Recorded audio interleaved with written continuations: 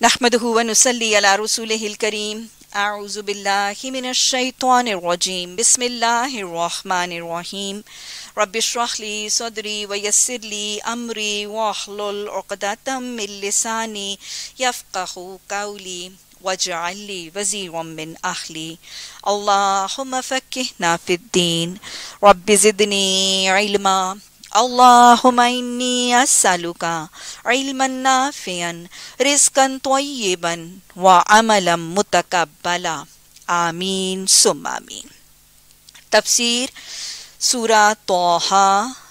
मक्की सूरत आठ रकुआत, एक सौ पैंतीस आयात और तरतीब के अतबार से बीसवें नंबर पर, नजूली एतबार से फोर्टी फिफ्थ नंबर पर, इसमें one one thousand three hundred and fifty one कलिमात हैं और five thousand four hundred and sixty six हरूफ हैं। नाम इसके हरूफ मुक़ात की वजह से, और अगर हम ज़माना नज़ूल और उसके शान नज़ूल का हवाला देखें तो सूरा तोहा मक्का के मुतवसत दौर में, दरमियाने दौर के बिल्कुल पहले पार्ट में नाजिल हुई।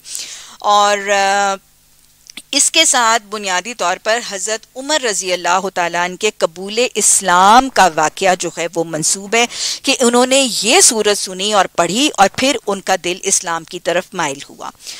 हज़रत उमर रज़ी अल्लाह तन के कबूल इस्लाम का वाक़ कुछ ऐसे आता है कि अल्लाह के रसूल सल्लल्लाहु अलैहि वसल्लम हाथ उठाकर हज़रत उमर रज़ी अल्लाह तन के कबूल इस्लाम की दुआएँ करते थे।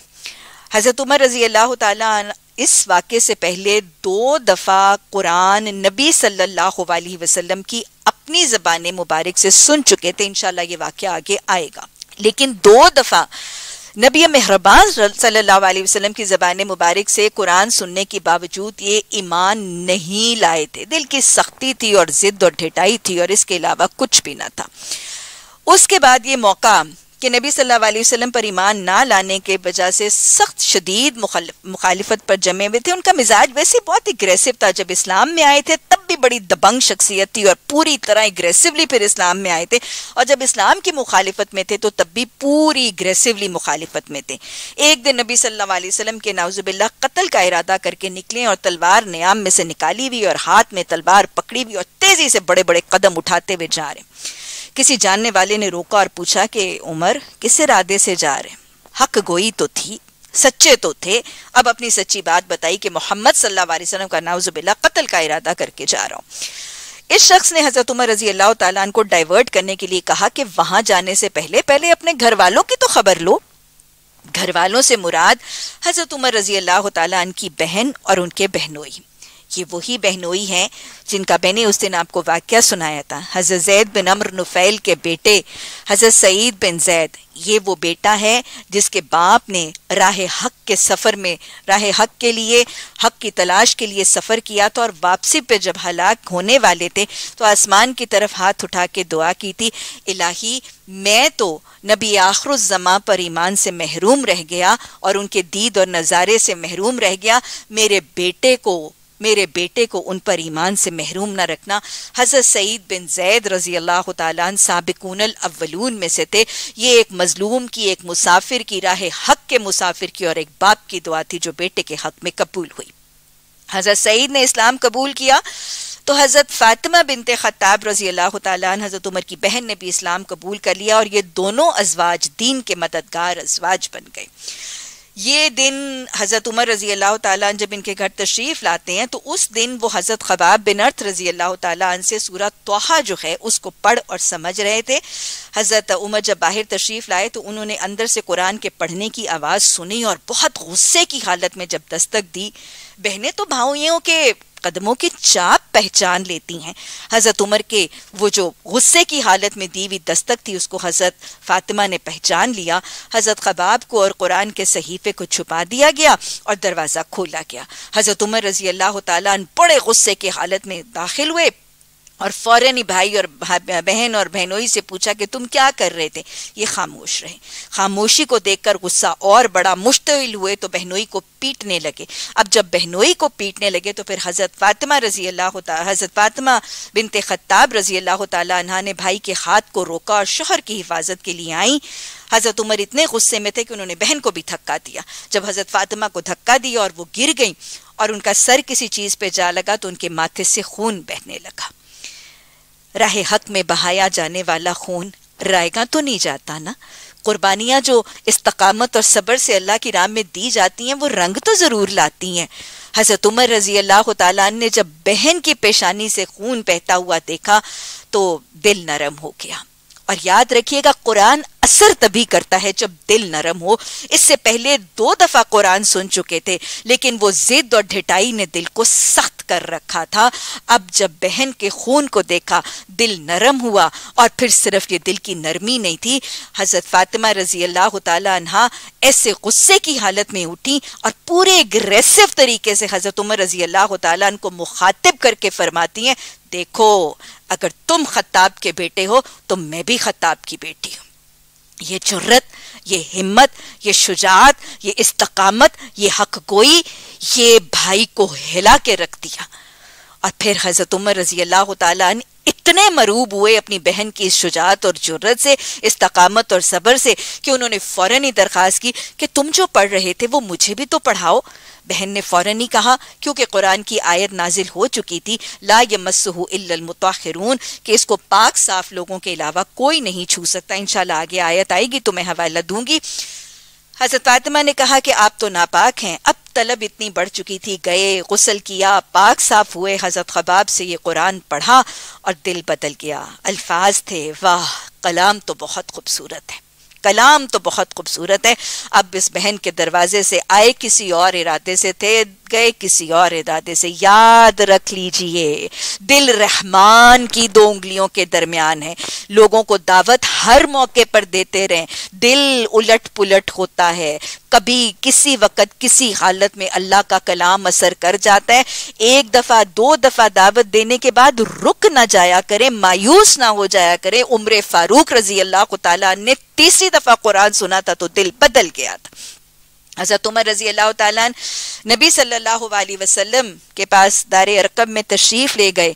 जाते वक्त पहले और नीयत थी, अब और इरादा है। होता वही है जो मेरा रब चाहता है। नबियों की दुआएँ, मोहम्मद सल्लल्लाहु अलैहि वसल्लम की दुआएँ कबूल होती हैं। इसीलिए तो कहती हूँ, मसनून दुआओं को याद कर लीजिए और अपना लीजिए। हज़रत उमर रज़ी अल्लाह तन को आते हुए देखकर सहाबा इकराम ने नबी सल्लल्लाहु अलैहि वसल्लम से तस्करा किया कि, उमर आ रहे हैं। आपने फरमाया, दरवाज़ा खोल दो, दरवाज़ा खोल तो हज़रत उमर रज़ी अल्लाह तशरीफ़ लाए, घुटनों के बल गिर गए। नबी मेहरबान सल्लल्लाहु अलैहि वसल्लम के दस्ते मुबारक पर इस्लाम कबूल किया। कलमा पढ़ा वादी मक्का में तकबीर की आवाज़ गूंजी, और ये गूंजने की वजह कौन थी? ये एक बहन थी। ये एक बहन थी, फातिमा बिनते खताब जैसी बहनें उम्मत के रवैये, उम्मत के हालात बदलने का ज़रिया बन गई। उम्र रज़ी अल्लाह तन को उम्र फारूक बनाने वाली एक बहन थी। औरत के किरदार को समझिए, औरत की ताकत को समझिए, अपनी कुव्वतों, अपनी ताकतों और अपनी इस्तात को कम मत समझिए, हम कमज़ोर नहीं हैं। औरत अगर माँ है तो मोहब्बत से बदलती है। वो बीवी है तो अपनी अंदाज से बदलती है। वो बहन है तो उसका अंदाज फातिमा बिनते खत्ताब जैसा है। वो बेटी है तो फातिमा तो जहरा जैसी बेटी है। इस्लाम की औरत बहुत मज़बूत है। अल्लाह सुबहाना ताला हमें अपनी ताकतों और सलाहियतों को समझने और हमतों और मोहब्बतों से अपने दीन को अपने घर के मर्दों तक पहुँचाने की तोफ़ी कता फरमाए। अल्लाह हमारी मदद फरमा। अल्लाह हमारी मदद फरमा। अल्लाह हमारी रहनुमाई फरमा। अल्लाह हमारी बातों में तासीर अता फरमा। अल्लाह हमें भी दर्द दिल और हमत सिखा। इलामा इकबाल के बड़े प्यारे अशार हैं, फारसी के अशार हैं। और मुझे ना अब इस ज़िंदगी के मरहले में आके अफसोस होता है। मेरे वालिद ने पर्शियन में एफ़ फारसी में बी ऑनर्स किया हुआ था। और मुझे उर्दू का भी जितना इकबाल पढ़ाया, मेरे वालिद ही ने पढ़ाई इकबाल की शायरी, लेकिन वो मुझे हमेशा कहा करते थे कि आओ मैं तुम्हें फ़ारसी में इकबाल पढ़ाता हूँ। और हमेशा कहा करते थे कि जितना हुसन इकबाल की शायरी में फ़ारसी में है ना, वो उर्दू में नहीं है। लेकिन बस आपको पता है कि जवानी का पीरियड ज़रा लाउबाली सा होता है। मैंने मुश्किल से वो उर्दू का तो कलाम इकबाल का बहुत ही उनसे पढ़ा और सीखा, लेकिन आज अफसोस होता है कि काश मैंने उनसे फारसी भी पढ़ के उनसे इलामा इकबाल का कलाम पढ़ा होता। फ़ारसी में वो शेर इलामा इकबाल का है जिसका मैं तर्जुमा आपको पहुँचा रही हूँ। हज़रत फातमा बिंद ख़ताबी के हवाले से मुखातिब होकर फरमाते हैं कि, ए बेटी, हमारी शाम जवाल में है। ए बेटी, हमारी शाम जवाल में है। तू हमारी सुबह तुलू कर दे। इसलिए, इसके लिए तू क्या कर कि तू अहले नज़र और अहले फ़िक्र को कुरान सुना और दावत दे। तू जानती है कि तेरे कुरान के सोच की वजह से कितनी बड़ी तब्दीली आई थी कि उमर की हालत बदल गई थी। भाई, उमर को किसने बदला था? एक मुसलमान बहन ने बदला था। अल्लाह हमें ऐसी मुसलमान माएँ, बहनें और बेटियाँ बना दे और इस्लाम के गलबे और नूर इस्लाम के गलबे में हमें अपना किरदार अदा करने की तोफ़ी अता फरमा दे। सूरा तोहा मक्की सूरत है, आठ रकुआत हैं, एक सौ पैंतीस आयात। बिस्मिल्लाहिर्रहमानिर्रहीम। तोहा कुरान लितशका। तो हाँ हमने ये कुरान तुम पर इसलिए नाजिल नहीं किया है कि तुम मुसीबत में पड़ जाओ। ये तो एक याद दहानी है, हर उस शख्स के लिए जो डरे। नाजिल किया गया है उस ज़ात की तरफ़ से, जिसने पैदा किया है ज़मीन को और बुलंद आसमानों को। वो रहमान कायनात के तख्त का सल्तनत पर जलमा फरमा है। मालिक है उन सब चीज़ों का जो आसमान और ज़मीनों में है और जो ज़मीन और आसमान के दरमियान है और जो मिट्टी के नीचे हैं। तुम चाहे अपनी बात पुकार कर कहो तो वो चुपके से कही हुई बात, बल्कि इससे मख्फी तर बात भी जानता है। वो अल्लाह है, उसके सिवा कोई खुदा नहीं। तुम्हें इस तो और उसी के लिए बेहतरीन नाम भी हैं। और तुम्हें कुछ मूसा सलाम की खबर पहुँची, जबकि उसने एक आग देखी थी और अपने घर वालों से कहा था अच्छा जनाब, अब यहाँ से आगे हज़रत मूसा सलाम का किस्सा है। हज़रत मूसा सलाम का किस्सा कुरान में कहीं यक जा एक जगह पर मौजूद नहीं है, मुंतशिर पार्ट्स और अज्जा की शक्ल में मौजूद है, और इसको मिला के हम एक कॉन्टीन्यूस रुदात की शक्ल में समझ लेते हैं। हज़रत मूसा की ज़िंदगी को अगर हम देखें तो चार अदवार और चार पीरियड्स में तकसीम किया जा सकता है। पहला दौर उनकी वलादत से लेकर फ़िरौन के दरबार में पाला जाना और फिर उसके बाद कत्ल तक फिर वहाँ से निकल जाना, मिस्र से मुंतकिल हो जाना, ये ज़िंदगी का जवानी और बचपन का पहला दौर। उसके बाद दूसरा दौर, जब वो मदियन में हज़रत शुएब सलाम की जेर तरबियत रहे, बकरियाँ चराई, निकाह हुआ और हज़रत शुएब सलाम नबी से उन्होंने दीन की तालीम और दीन की तरबियत हासिल की। तीसरा दौर वो, जब वापस अपने अहल खाना को लेकर वापस मिस्र अपने अपने आबाई वतन में आए और वहाँ पे फ़िरौन को दावत दी और वो मुखालफत और वो सारी निशानियाँ और बनी इसराइल को इस्लाम की दावत देना चौथा पीरियड वो, जो आखिरी पीरियड है, जब वो वापस मिस्र से निकले और समुंदर फटा और फिर वो सहरा के अंदर आबाद हुए और फिर सहरा ही में वफात तक वो क़याम का मामला रहा। तो ये चार अदवार है। यहाँ पर कुछ अदवार का तस्करा आएगा, दो अदवार का तस्करा बल्कि तीन अदवार का किस्सा है।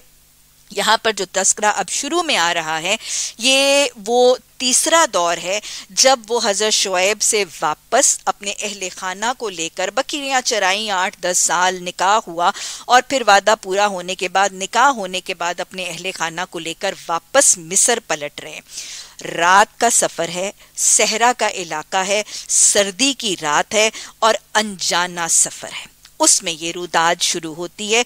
तुम्हें कुछ मूसा की खबर पहुँची जबकि उसने एक आग देखी। यानी रात का वक्त है और दूर से कोई चमकने वाली चीज़ नज़र आई और अपने घर वालों से कहा हम्म ये नहीं कहा कि मैं थक गया हूँ, मैं यहाँ बैठा हूँ। चलो बीबी को कहा कि तुम जाओ या छोटे बेटे को कहते कि तुम जाओ। नहीं, हदीस के अल्फाज हैं सैदुल कौम खादिम के कौम का जो सरबरा और कौम का जो सैयद होता है या ग्रुप का जो सैयद होता है ना, वो उनका खादिम होता है।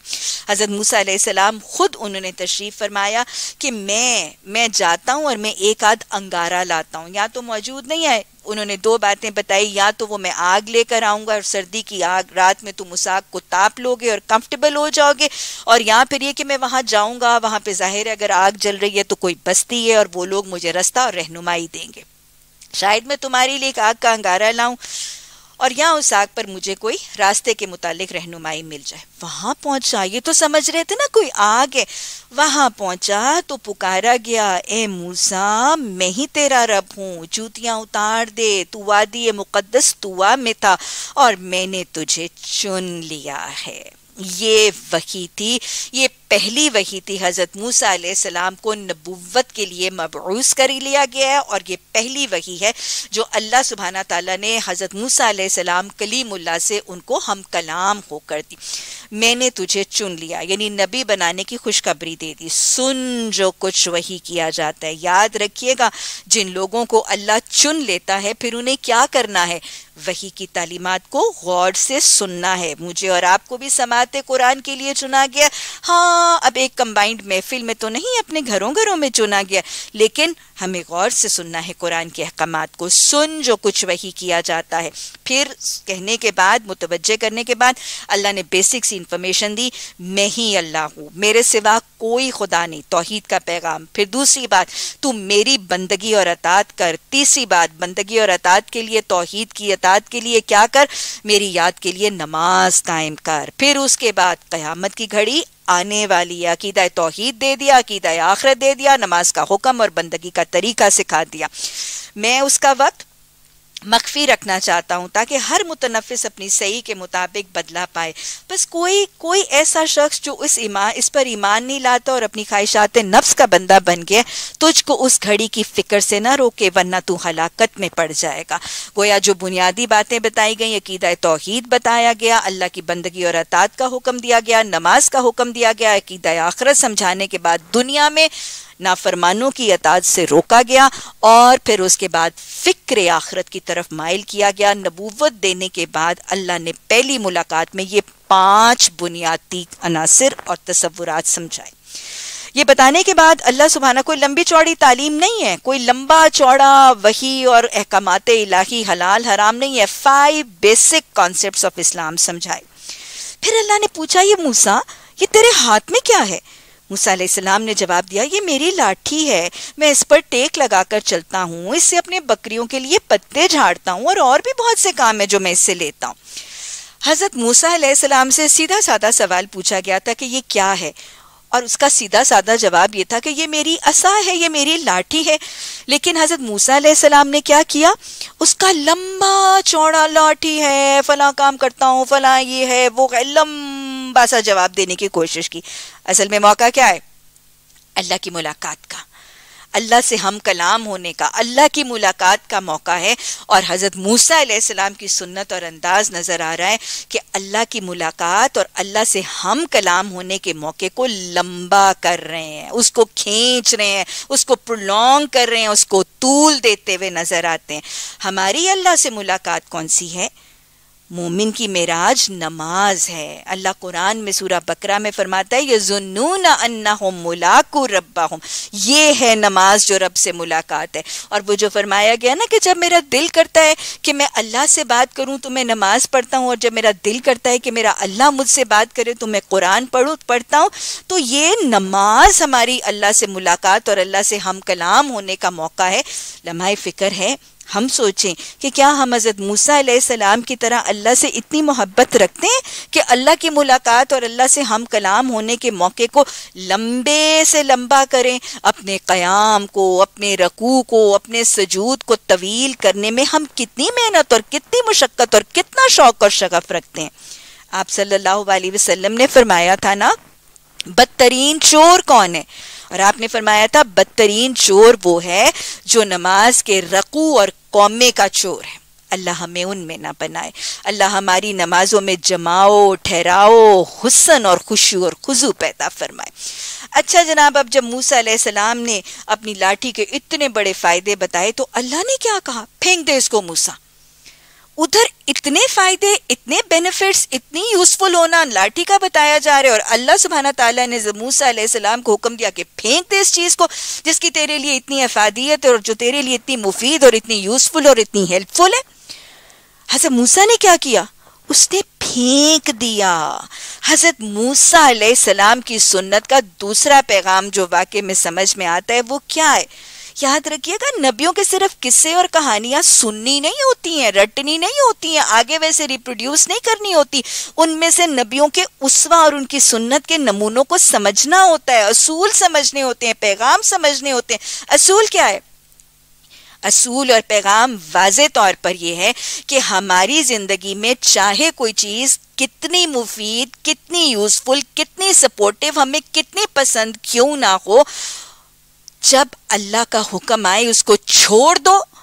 अल्लाह का डोंट आ जाए, अल्लाह उसको हराम कह दे, अल्लाह उसको हदूद से तजावुज कह दे तो हमें क्या करना है? अल्लाह के डोंट को मान के हमें उस चीज़ को तर्क कर देना है, उसको छोड़ देना है, उसको अवॉइड करना है उससे इज्तनाब करना है। और यही सुन्नत मूसा सलाम है और यही अम्बिया सलाम का तरीका, समेना व अतवाना का तरीका है।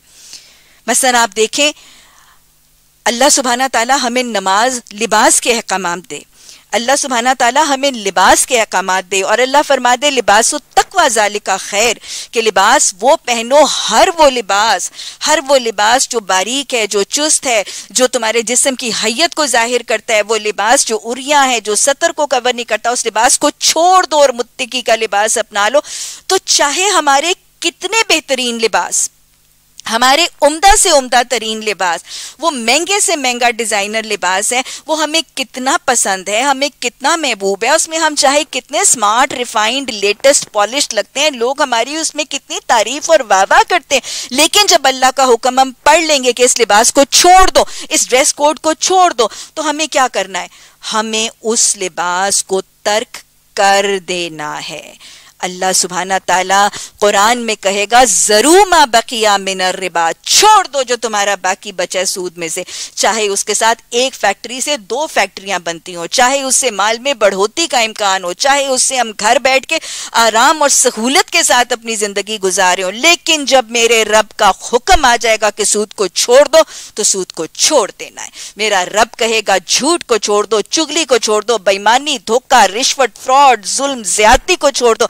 चाहे कितना फ़ायदा हो रहा हो, चाहे कितनी मुफीद हो, चाहे कितनी दुनियावी तरक्की हो, उस डोंट के आ जाने के बाद उसको छोड़ देना है। अल्लाह सुबहाना ताला ने फरमाया कि इसको फेंक दो। हज़रत मूसा सलाम ने उसे फेंक दिया और यक्का यक वो एक बहुत ही बड़ा सा सांप बन गया जो दौड़ रहा था। सांप बन गया। तो हज़रत मूसा सलाम को अल्लाह ने क्या कहा? इसे पकड़ ले और इसको पकड़ ले और इससे डर नहीं, हमें फिर इसे वैसा कर देंगे जैसी ये थी।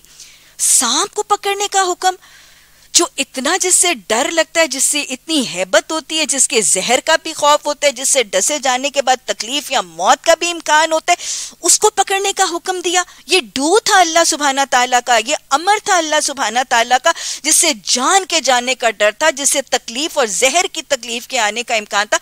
लेकिन हज़रत मूसा ने उसको थाम लिया। हज़रत मूसा सलाम की सुन्नत का नमूना क्या है? जब अल्लाह का कोई हुक्म आ जाए, उस हुक्म की अतात में जितनी बड़ी जिस्मानी, माली, रूहानी, सोशल, साइकोलॉजिकल, इकोनॉमिक किसी किस्म की तकलीफ़ आने का इम्कान हो, लेकिन जब अल्लाह का हुक्म आ जाता है तो उसको क्या करना है? उसको कर लेना है। उसको कर लेना है। अल्लाह सुबहाना ताला हम सूरा नूर पढ़ेंगे, सूरा अहजाब पढ़ेंगे, वहाँ अल्लाह हमें युदनीन अलहिन्न मिन जिलाबी बेहिन का हुक्म देगा। अल्लाह वकर नफी बयूत कुन्ना का हुक्म देगा। वला तबर्रुज ना तबर्रुज करके घरों से ना निकलो, वो सारे हुक्म देगा। हाँ उन अहकाम को मानने पर चाहे माली नुकसान हो, चाहे हमारे जॉब की तरक्की में खलल आ जाए, चाहे हमारी दुनियावी साख में खलल आ जाए, चाहे बरादरी और माशरा नक्कू बनाए, क्रिटिसाइज क्रिटिसाइज करे, तनकीद करे, लेकिन जब अल्लाह का हुक्म आ जाएगा आपके अपने ड्रेस कोड के अंदर ये ये ये ड्रेस कोड शामिल कर लो तो क्या करना है? उसको शामिल कर लेना है। अल्लाह सुबहाना ताला हमें बंदगी का ये तरीका सिखा दे अल्लाह हमें समेना व अतवाना करने वालियाँ बना दे। सिर्फ़ किस्से सुन के झूमने नहीं, किस्से सुन के अपना तरबियत और तस्किया करने वालियाँ बना दे। अल्लाह सुबहाना ताला ने फिर उसको वैसा ही कर दिया। बड़ा सा अजदहा बना था और फिर वो वाकई हो गया। और ज़रा अपना हाथ अपनी बगल में तो डाल। कुछ रवायात में बगल आता है, कुछ में गरेबान। ये चमकता हुआ निकलेगा बगैर किसी तकलीफ़ के। ये दूसरा मुआवजा था, एक अजदहा का मुआवजा कि जब लाठी और रसा फेंका जाता था तो वो बड़ा सा एक अजदहा बन जाता था। और दूसरा मुआवजा के जब अपने गरेबान में या अपनी बगल पे हाथ डालते थे तो वो वाइट और चमक चमकदार ल्यूमिनस और वाइट होता था और जो कुरान कहता है ना, बगैर तकलीफ़ के, यानी उसको कोई बरस की बीमारी, कोई उसको ल्यूकोडर्मा की बीमारी, यानी स्किन की कोई ऐसी बीमारी नहीं थी एल्बियनिज्म नहीं थी। एल्बिनोज होते हैं ना, जिनकी स्किन सारी वाइट होती है तो इस किस्म की कोई मेडिकल प्रॉब्लम नहीं थी और कोई तकलीफ़ नहीं थी। वो वैसे ब्राइट चमकता हुआ वाइट हो जाता था, ये मुआवजा था अल्लाह ने फरमाया, ये दूसरी निशानी है। इसलिए कि हम तुझे अपनी बड़ी निशानियाँ दिखाने वाले हैं। फिर अल्लाह ने क्या कहा? अल्लाह ने नबूवत के लिए चुना, पाँच बुनियादी बातें बताई, दो बड़े बड़े मुजाद दिए। और फिर उसके बाद क्या कहा? लॉन्च कर दिया। किसके खिलाफ? अब तू जा फिर के पास जा। क्यों जा? क्योंकि वो सरकश हो गए जब अल्लाह के बंदे अल्लाह के दीन के अहकाम से सरकश हो तो फिर उनके पास अल्लाह का दीन लेके जाना है। और हज़रत मूसा सलाम को फिर उस दौर की जो इतनी बड़ी मिस्र की रियासत जिसकी रुदादें और जिसके वो वंडर्स ऑफ़ द वर्ल्ड उसके एहराम मिस्र आज तक मौजूद हैं, उस दौर की इतनी बड़ी रियासत और इतनी बड़ी ताकत के, इतने बड़े हुक्मरान के सामने जा, ये काम छोटा नहीं था। ये बहुत बड़ा मरहला था। ये बहुत बड़ी एक्सपीडिशन थी और एक बहुत मुश्किल मरहला था। अल्लाह सुबहाना ताला ने जब ये हुक्म दे दिया कि तू जा फिर के पास। तो फिर समय ना व अतवा ना करने वाले हज़रत मूसा सलाम का रवैया क्या था? अल्लाह के हुक्म की अतात थी और अल्लाह के वादे पर तवक्ल था और चल दिए थे। याद रखिएगा, जालिम हुक्मरान के खिलाफ कलमा हक पुकारना अफजल जिहाद है।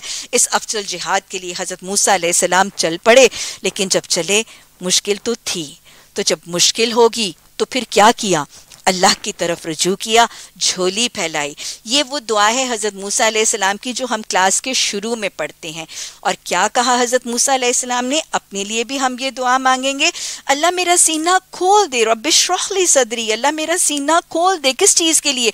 अपने अहकाम के लिए, अपनी तालीमत के लिए। मूसा सलाम ने भी यही मांगा था। हम भी क्लास में यही मांगते हैं और कुरान से पहले मांगते हैं कि अल्लाह जो तेरे अहकाम हैं, तेरे डूज हैं, डोंट्स हैं, हलाल हैं, हराम है, मेरा सीना खोल दे कि मैं खुले दिल दिल और दिमाग से इनको समझ लूँ, मान लूँ, अपना लूँ, और फिर मेरा सीना इस बात में भी खोल ले, दिल में कोई घुटन ना आए, मैं खुले दिल से इसको लोगों तक पहुंचाऊं। वह यसिरली अमरी, इनको सुनना, मानना, अमल करना और फिर लोगों तक पहुंचाना मेरे लिए आसान कर दे। वाखलुलतम लिसानी, और अल्लाह मेरी ज़बान की गिरा खोल दे। कुछ लोग कहते हैं कि हज़रत मूसा सलाम ने ना ये दुआ इसलिए मांगी थी कि उनकी ज़बान में लुकनत थी। और हल्का सा वो स्टैमर करते थे। और स्टैमर करने को वो हज़रत मूसा सलाम के उस बचपन के वाक़े के साथ एसोसिएट करते हैं, जिसमें कोई हदीस, जो है वो हदीस से सही बात साबित नहीं है, ये ज़यीफ़ हदीस है कि वो कहते हैं कि हज़रत मूसा सलाम जब फ़िरौन के महल में थे और छोटे से बच्चे थे तो उस उस बचपन के दौर में वो फ़िरौन की गोद में बैठे और उन्होंने दाढ़ी को खोच लिया और नोच दिया। और फ़िरौन को बहुत ही गुस्सा आया और फ़िरौन ने कहा कि इस बच्चे को कत्ल कर दो। तो जो दरबारी थे उनमें से किसी एक ने कहा कि नहीं, आप इसको कत्ल ना कराएँ, क्योंकि इसने कोई आपके लिए, आपकी शान में गुस्ताखी या बेइज्जती या आहानत के लिए तो आपके साथ ऐसा नहीं किया। तो छोटा सा बच्चा इससे तो गैर इरादी तौर पर ये काम खेल खेल में हो गया। और फिर उसने सबूत के तौर पर कहा कि इसके सामने आग के अंगारे रखें और ये देख लीजिएगा, मुँह में डाल लेगा। और हज़रत मूसा ने पकड़ के अंगारे मुँह में डाल दिए और फिर ने छोड़ दिया। ऐसा कोई मामला साबित नहीं है सही हदीस से। और वैसे भी अगर आप रैशनली भी देखें तो एक छोटा सा बच्चा शायद अंगारों की तरफ़ हाथ बढ़ा नहा तो सकता है और मैक्सिमम अंगारों को पकड़ तो सकता है। लेकिन अगर वो पकड़ेगा तो उसकी अपनी नॉर्मल नेचुरल जो बॉडी इंस्टिंक्ट्स है ना, फितरत उसकी, उसको आग के अंगारे को छोड़ने पे मजबूर कर देगी जब हाथ जलेगा और वो पकड़ के उसको मुँह में कभी भी नहीं डालेगा। तो लिहाजा ये वाक्य दुरुस्त नहीं है। हज़रत मूसा ने जो ये दुआ की थी, उसका मतलब ये था कि ये जो मेरे दिल में एक तंगी आ रही है ना, और इतने बड़े हुक्मरान के सामने मुझे लग रहा है कि मैं फरासत के साथ और रवानी के साथ और फसाहत के साथ बोल नहीं सकूँगा। और मेरे जबान में एक बंदिश सी आ जाएगी तो अल्लाह उस बंदिश को दूर करना। वह यफ कहू काउली और अल्लाह जो मैं उनको बात बताऊँ, मैं तो समझाने पर कादिर ही नहीं हूँ तो उनको समझा भी देना। और फिर दुआ मांगी हज़रत मूसा ने वजाली वज़ीर मिन आहली कि अल्लाह ये काम बहुत ही मुश्किल है, मैं अकेला तो नहीं कर सकता। और वैसे ये भी याद रखिएगा, हम भी अगर दीन की दावत और तबलीग और दीन की अताती का काम करेंगे तो वो अकेले बहुत मुश्किल होता है। घर वालों में से कोई मुआविन, कोई मददगार, कोई सपोर्टर, कोई हेल्पर बन जाए ना, फिर बहुत आसान हो जाता है। तो हज़रत मूसा की तरह ये दुआ जो है ना, वो भी ज़रूरी इसको अपने हिस्से में शामिल कर लिया करें। मैंने बहुत से मुदरसिन को ये दुआ पढ़ते हुए देखा, लेकिन वजाली वजीरम मिन आहली की जो हिस्सा है ना, ये अक्सर लोग छोड़ जाते हैं। तो जब मैंने पहली दफ़ा कुरान पढ़ा तो मैंने रियलाइज़ किया कि ये दुआ का हिस्सा तो बहुत ही इंपॉर्टेंट है। इसको तो ज़रूर ही हमें शामिल करना चाहिए। और वैसे भी हज़रत मूसा सलाम ने जब शामिल किया था तो अल्लाह सुबहाना ताला ने हज़रत हारून सलाम को उनका मुआवन बना दिया था। तो आप लोगों से मैं ये दरख्वास्त भी करूँगी कि अपने अहले खाना को अपना मुआवन और मददगार बनाने की एक तो दुआ किया करें और दूसरी बात है, ये दुआ ज़रूर किया करें। और जब भी ये दुआ करें ना, अपनी फैमिली वालों में से जिसको आप आपकी ख्वाहिश है, या जिससे आपको इम्कान लगता है ना कि वो आपकी सबसे ज़्यादा अच्छी सपोर्ट और हेल्प कर सकती हैं इस काम में, उसको ना इस दुआ के वक्त अपनी आँखों के सामने रखा करें और फिर दुआ किया करें। और अल्लाह ज़रूर ही मुआवन बनाता है, मेरा अपना ज़ाती तजुर्बा ज़िंदगी में मौजूद है। हज़रत मूसा ने फरमाया कि मेरे लिए अपने कुंबे वालों में से एक वज़ीर, एक नायब मुकर कर दे, हारून जो मेरा भाई है, और उसके ज़रिए से मेरे हाथ मज़बूत भी कर दे, और उसको मेरे काम में शरीक भी कर दे, ताकि हम मिल के दोनों क्या करें? हम खूब तेरी पाकि बयान करें और खूब तेरा चर्चा करें। क्यों? तू तो हमारे हाल पर हमेशा निगरान है। हज़रत मूसा सलाम की सुनत का एक और तरीका नज़र आ रहा है कि उन्होंने क्या कहा, हम दोनों भाई जब इकट्ठे होंगे, मिलेंगे तो हम क्या करेंगे? अल्लाह हम इकट्ठे हों, हम मिलें, एक दूसरे के सपोर्टर हों, और जब हम इकट्ठे हों तो तेरी पाकि, तेरी बुजुर्गी, तेरी बड़ाई के डंके बजाने की कोशिश करें। लम्हा फ़िक्र है, आप सोचें, हम अपनी बहनों के साथ इकट्ठे होके क्या करते हैं? हम अपने फैमिली टाइम पर इकट्ठे होके क्या करते हैं? हाँ चुगलियाँ, गीबतें और बहनें इकट्ठी होती हैं तो यहाँ सिर्फ़ रेसिपीज़ डिस्कस होती हैं, या डिज़ाइनर जोड़ों की आउटलेट्स डिस्कस होते हैं, या प्रिंट्स डिस्कस होते हैं, है ना? अल्लाह हमें ज़िंदगी में अच्छे मकासद, फ़िक्र आखरत से आशना होने वाले मकासद अता फरमा दे। अब जब हज़रत मूसा सलाम ने ये भाई की दुआ की, नबियों की दुआ कबूल होती और दुआ के पीछे मकसद बहुत प्यारा था ना तो अल्लाह ने फरमाया, दिया गया जो तूने मांगा है मूसा, हमने फिर तुझ पर एक मरतबा एहसान किया है। याद कर वो वक्त जबकि हमने तेरी माँ को इशारा किया था।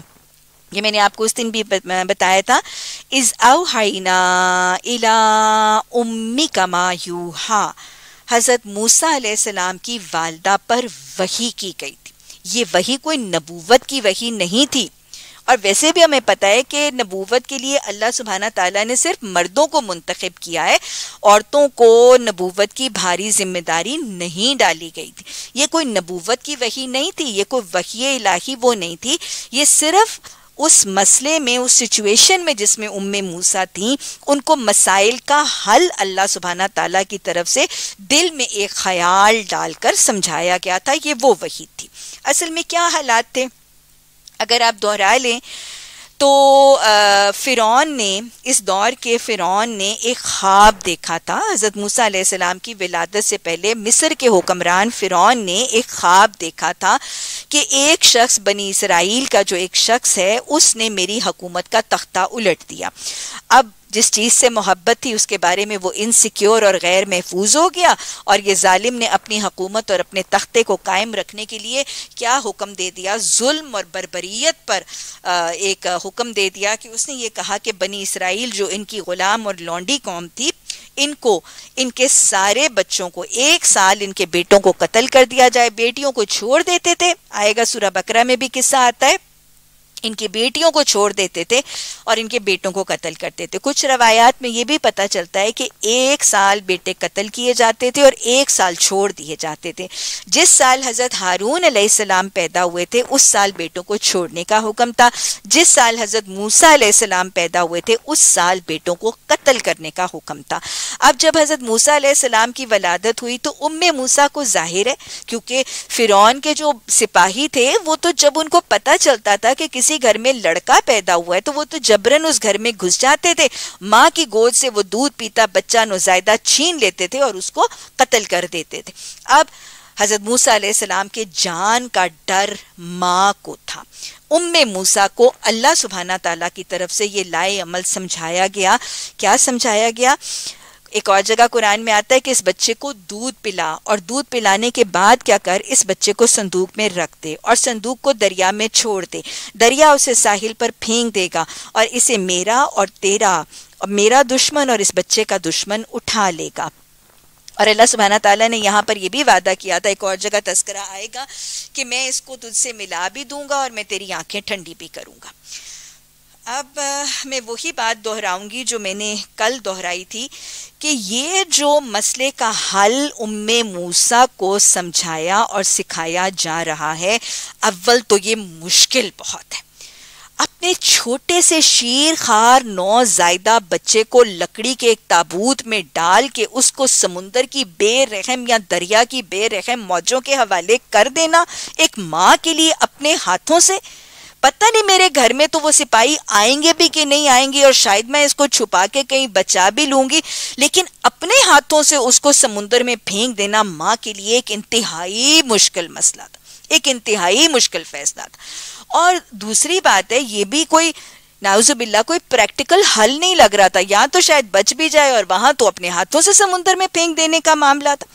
लेकिन मैंने आपको कल भी बताया था सूरा मरियम में कि अल्लाह सुबहाना ताला की वही से जो लाए अमल बताया जाता है। हम कुरान में पढ़ें, हम हदीस के ज़रिए पढ़ें, जो मसले का हल हमें कुरान और हदीस से तजवीज़ मिलती है, वो चाहे आसान हो, चाहे मुश्किल हो, चाहे पॉसिबल हो, चाहे इम्पॉसिबल हो, चाहे हमें अपने दिमाग से रैशनल लगे या अनप्रैक्टिकल लगे, जो शख्स उस पर अमल कर लेता है, वो दो भलाइयाँ कमाता है, एक तो अल्लाह की अतात और बंदगी का अजर कमाता है और दूसरी बात है, अल्लाह की बंदगी और अतात की वजह से अल्लाह की मदद, अल्लाह की मुआवनत और रहमत और बरकत उसके शामिल हाल ज़रूर हो जाती।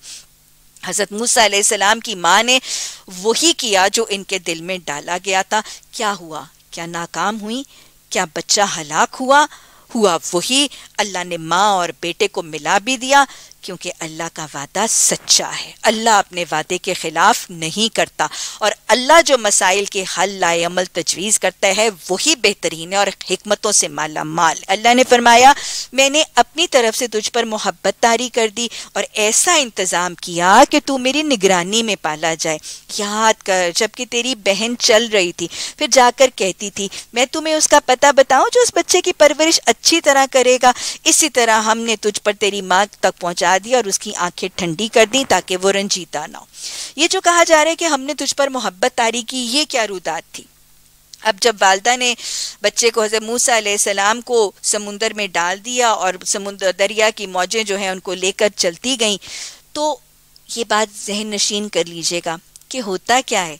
होता वही है जो मेरा अल्लाह चाहता है। और जो मेरा अल्लाह चाहता है ना, उसके वसीले, उसके सबब, उसके इसबाब वो खुद से खुद फराहम कर लेता है। जो फ़िरौन ने चाहा था, वो नहीं।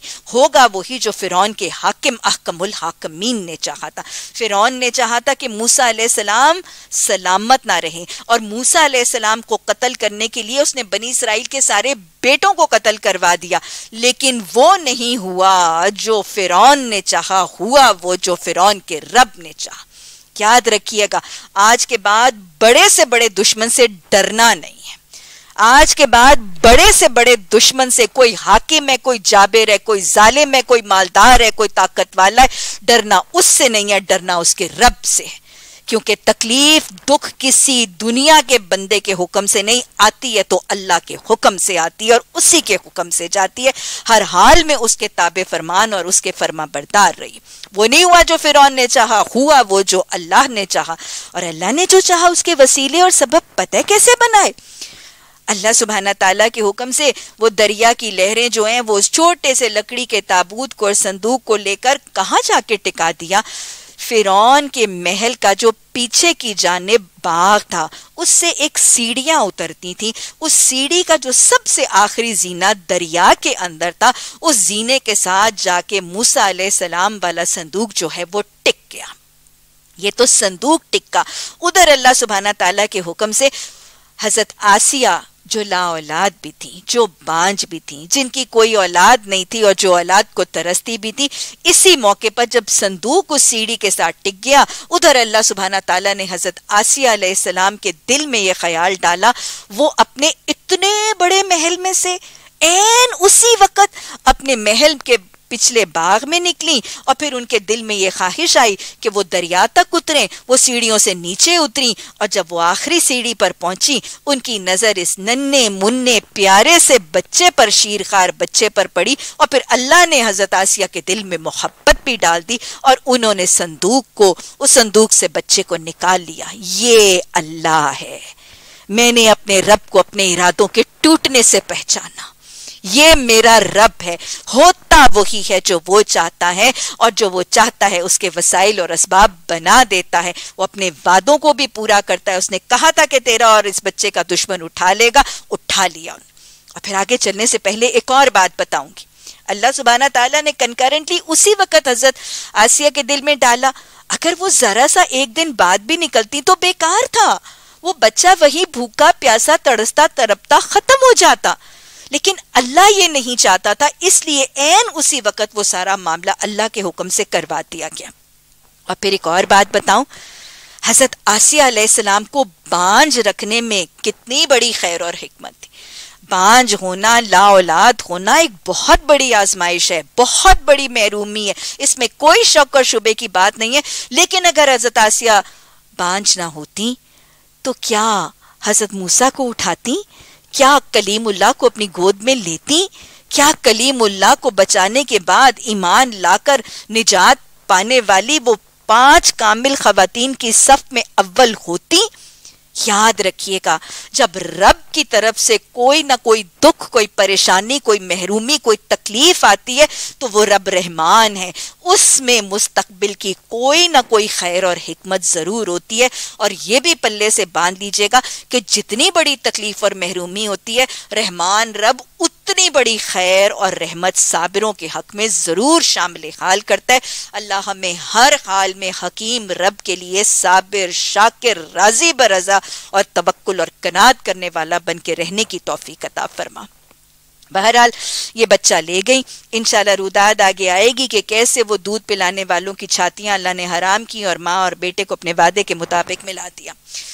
और ये भी याद रख, ये रुदात जो है वो ज़्यादा डिटेल में इंशाल्लाह आगे सूरज शोरा और कसस में पढ़ेंगे, इसलिए उसकी वजाहत मैं वहाँ करूँगी। और ये भी याद रहे कि तूने एक शख्स को कत्ल कर दिया। हमने तुझे इस फंदे से निकाल कर मुख्तलिफ़ आजमाइशों से गुजारा और तू मदियन के लोगों में कई साल रहा। फिर अब ठीक अपने वक्त पर तू आ गया मूसा। मैंने तुझे अपने काम का बना लिया हाँ। अल्लाह जिसको अपने काम का बना लेता है ना, उसको हालात के उतार चढ़ाओ मद्दो जजर, ऊंच नीच में से गुजारता है। उसको आजमाइशों की भट्टी में पका के कुंदन बनाता है। उसको रगड़ रगड़ के मांझ के हीरे की तरह जरबे लगा के चमकाते हैं।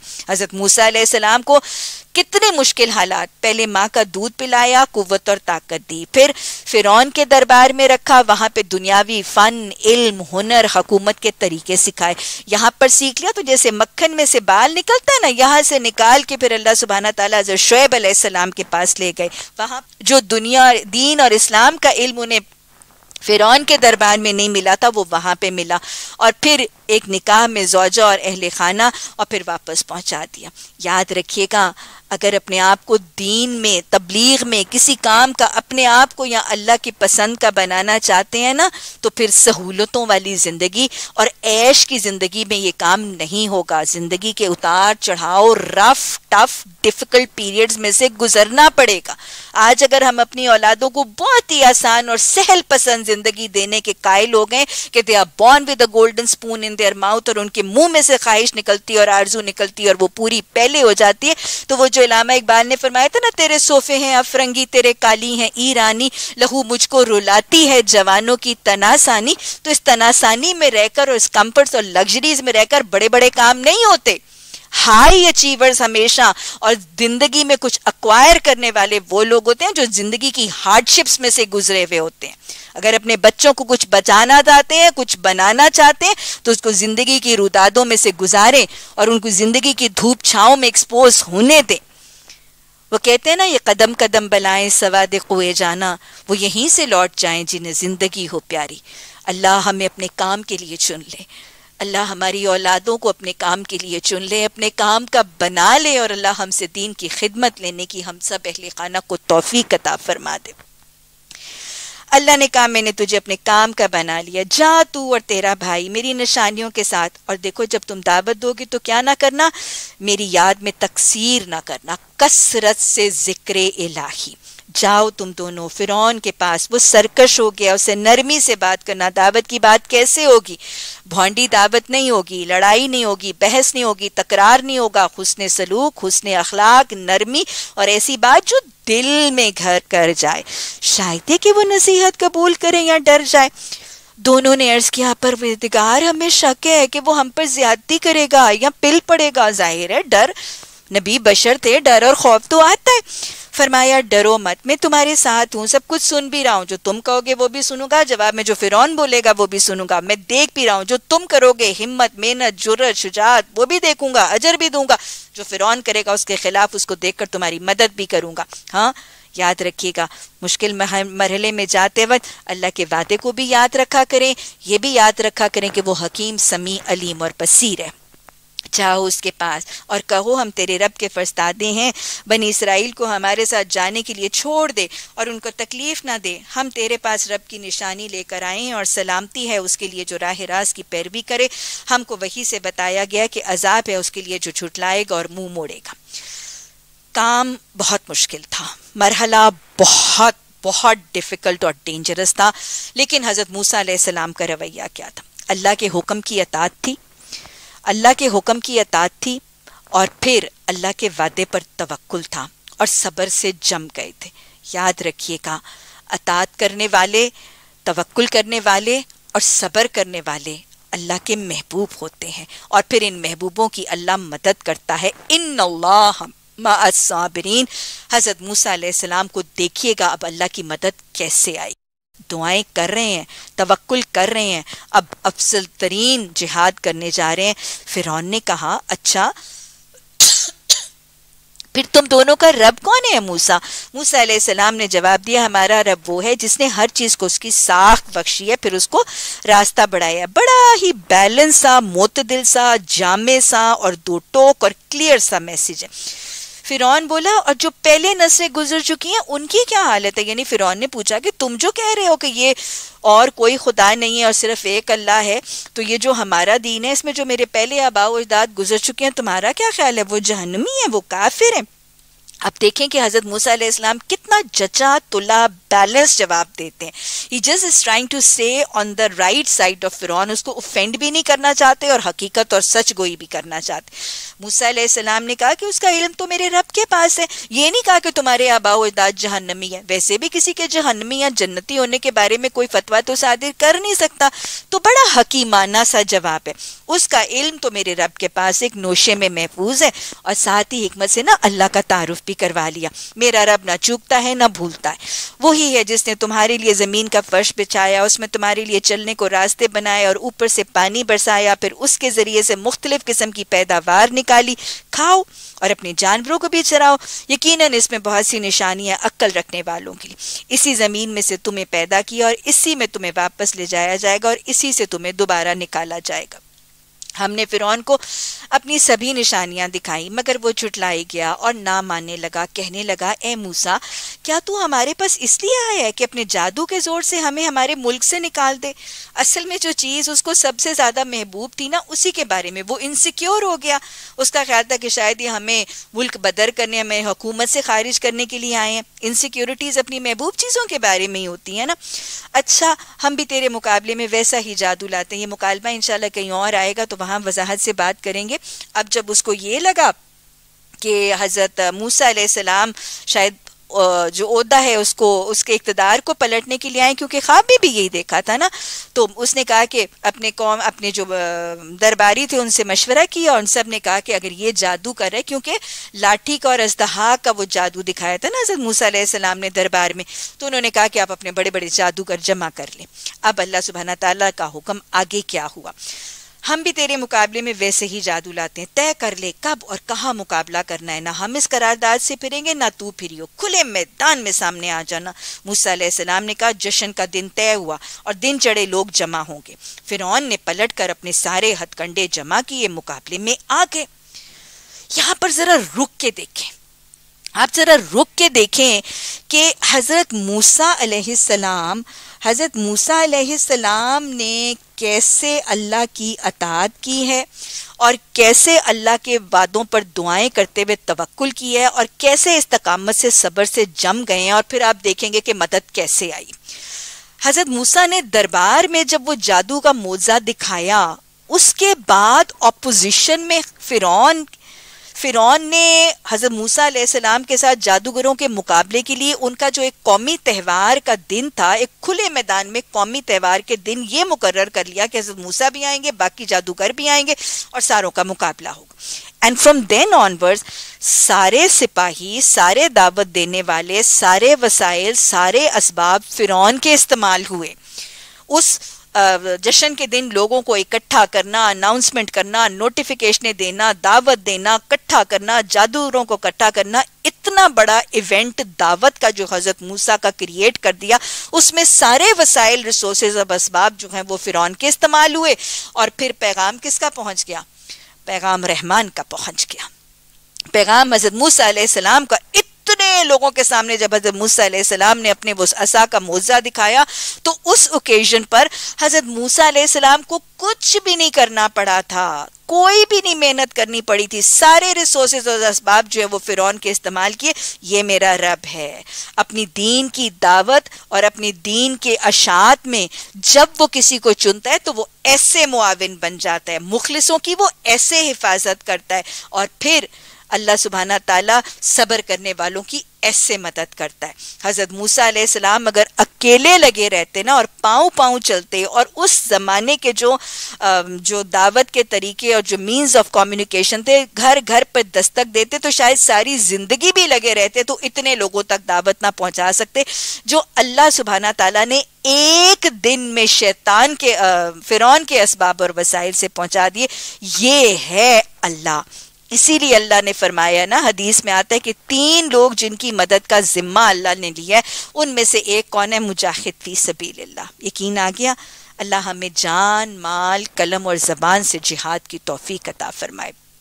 अब मूसा ने एन मौके पर गिरोह मुकाबिल को मुखातिब करके कहा, शामत के मारो, झूठी तोमतें ना घड़ो, बांधो और अल्लाह पर वरना वो एक सख्त अजाब से तुम्हारा सत्यानाश कर देगा। झूठ जिसने भी घड़ा ना, वो नामुराद हुआ। गोया, आप ये देख लीजिए कि एन उस मैदान मुकाबला में जब उसके ओपोनेंट हज़रत मूसा के ओपोनेंट जादूगर थे, दावत उनको भी दे रहे हैं और बड़ी हिकमत से दे रहे हैं। तो दावत कहाँ देनी है? हर जगह, हर वक्त अपनों को, परायों को, दोस्तों को, दुश्मनों को हर जगह देनी ये सुनकर उनके दरमियान इख्तलाफ राय हो गया, यानी जो जादूगर थे, उनके दरमियान एक डिसीज़न होने लगा।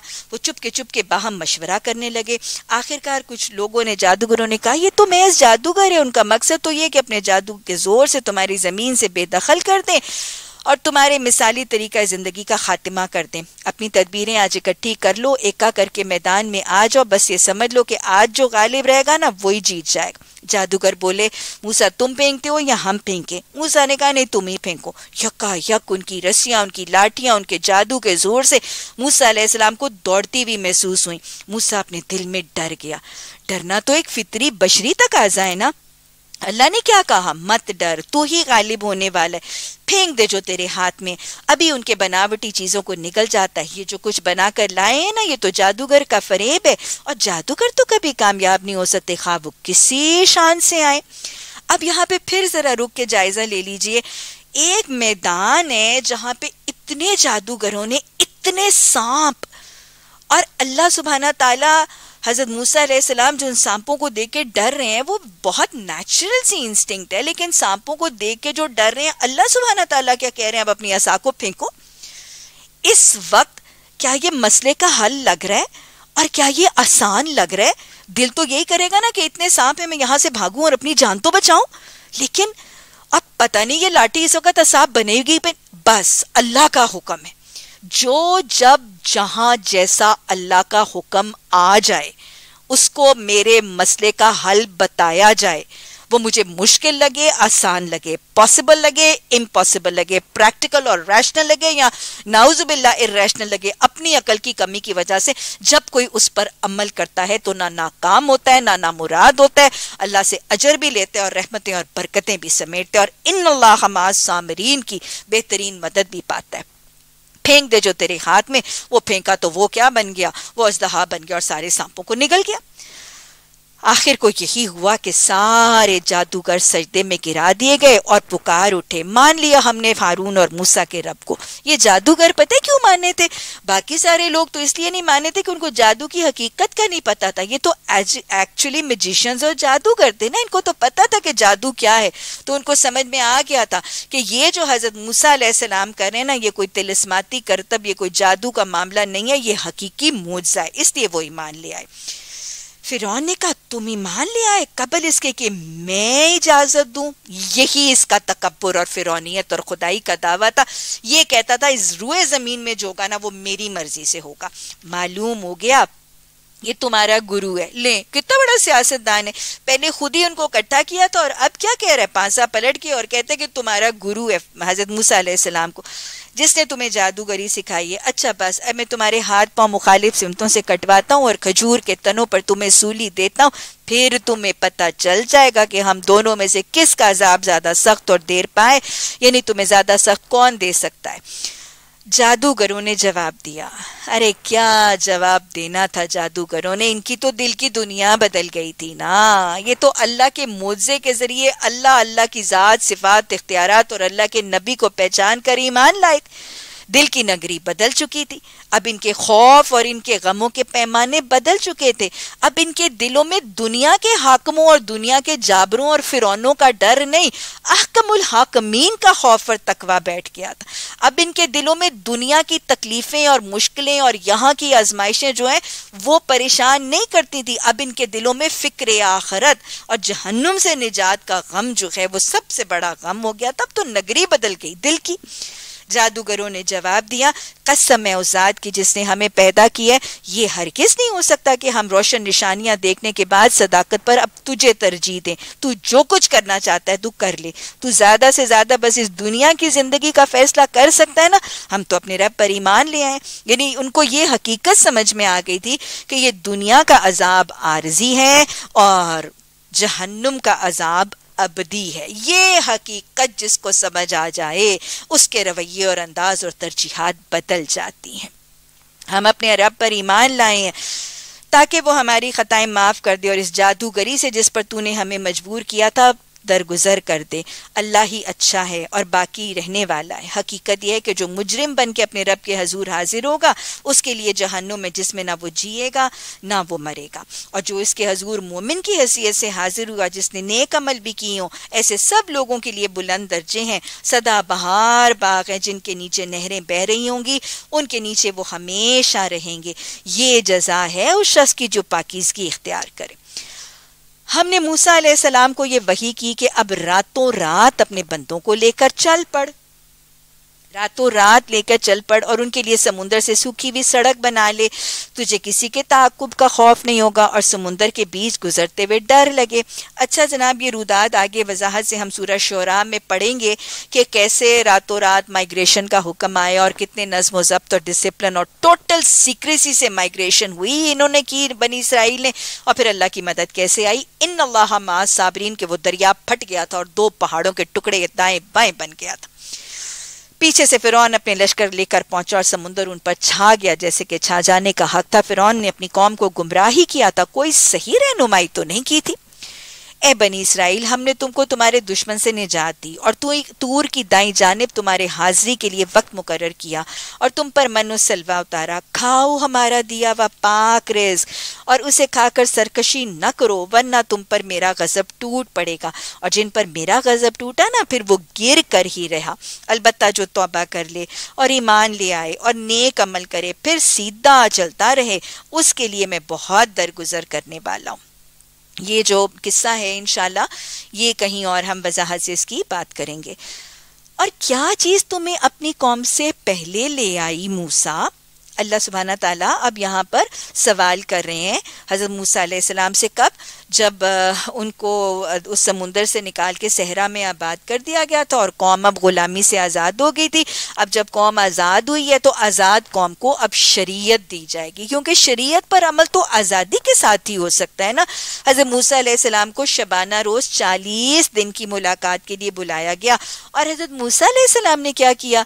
जो वक्त अल्लाह ने मुकर किया था ना अपनी मुलाकात का, उससे पहले पहुँच और क्या चीज़ तुम्हें अपनी कौम से पहले ले आई है मूसा? उसने अर्ज़ किया, वो मेरे पीछे आ रही है। मैं जल्दी करके तेरे हजूर आ गया हूँ मेरे रब, ताकि तू मुझसे खुश हो जाए। वाह, हज़रत मूसा सलाम की अगली सुन्नत देखिए। अल्लाह की मुलाकात में जल्दी चले जाना, वक्त से पहले पहुँच जाना, अल्लाह की रजा के लिए, अल्लाह की मुलाकात के लिए हाजिरी के वक्त से पहले पहुँच जाना, ये हज़रत मूसा सलाम की सुन्नत है। क्या हमारा नमाज़ के साथ ऐसा ताल्लुक है? आपको पता है, अल्लाह के अर्श के साय में जो सात खुश नसीब है, उनमें से एक कौन होगा? जिसका दिल मस्जिद से जुड़ा है। वो नमाज़ का मुंतजर है, वो नमाज़ के साथ लगा है उसका दिल और वो नमाज़ से पहले और हदीस का वादा भी तो है।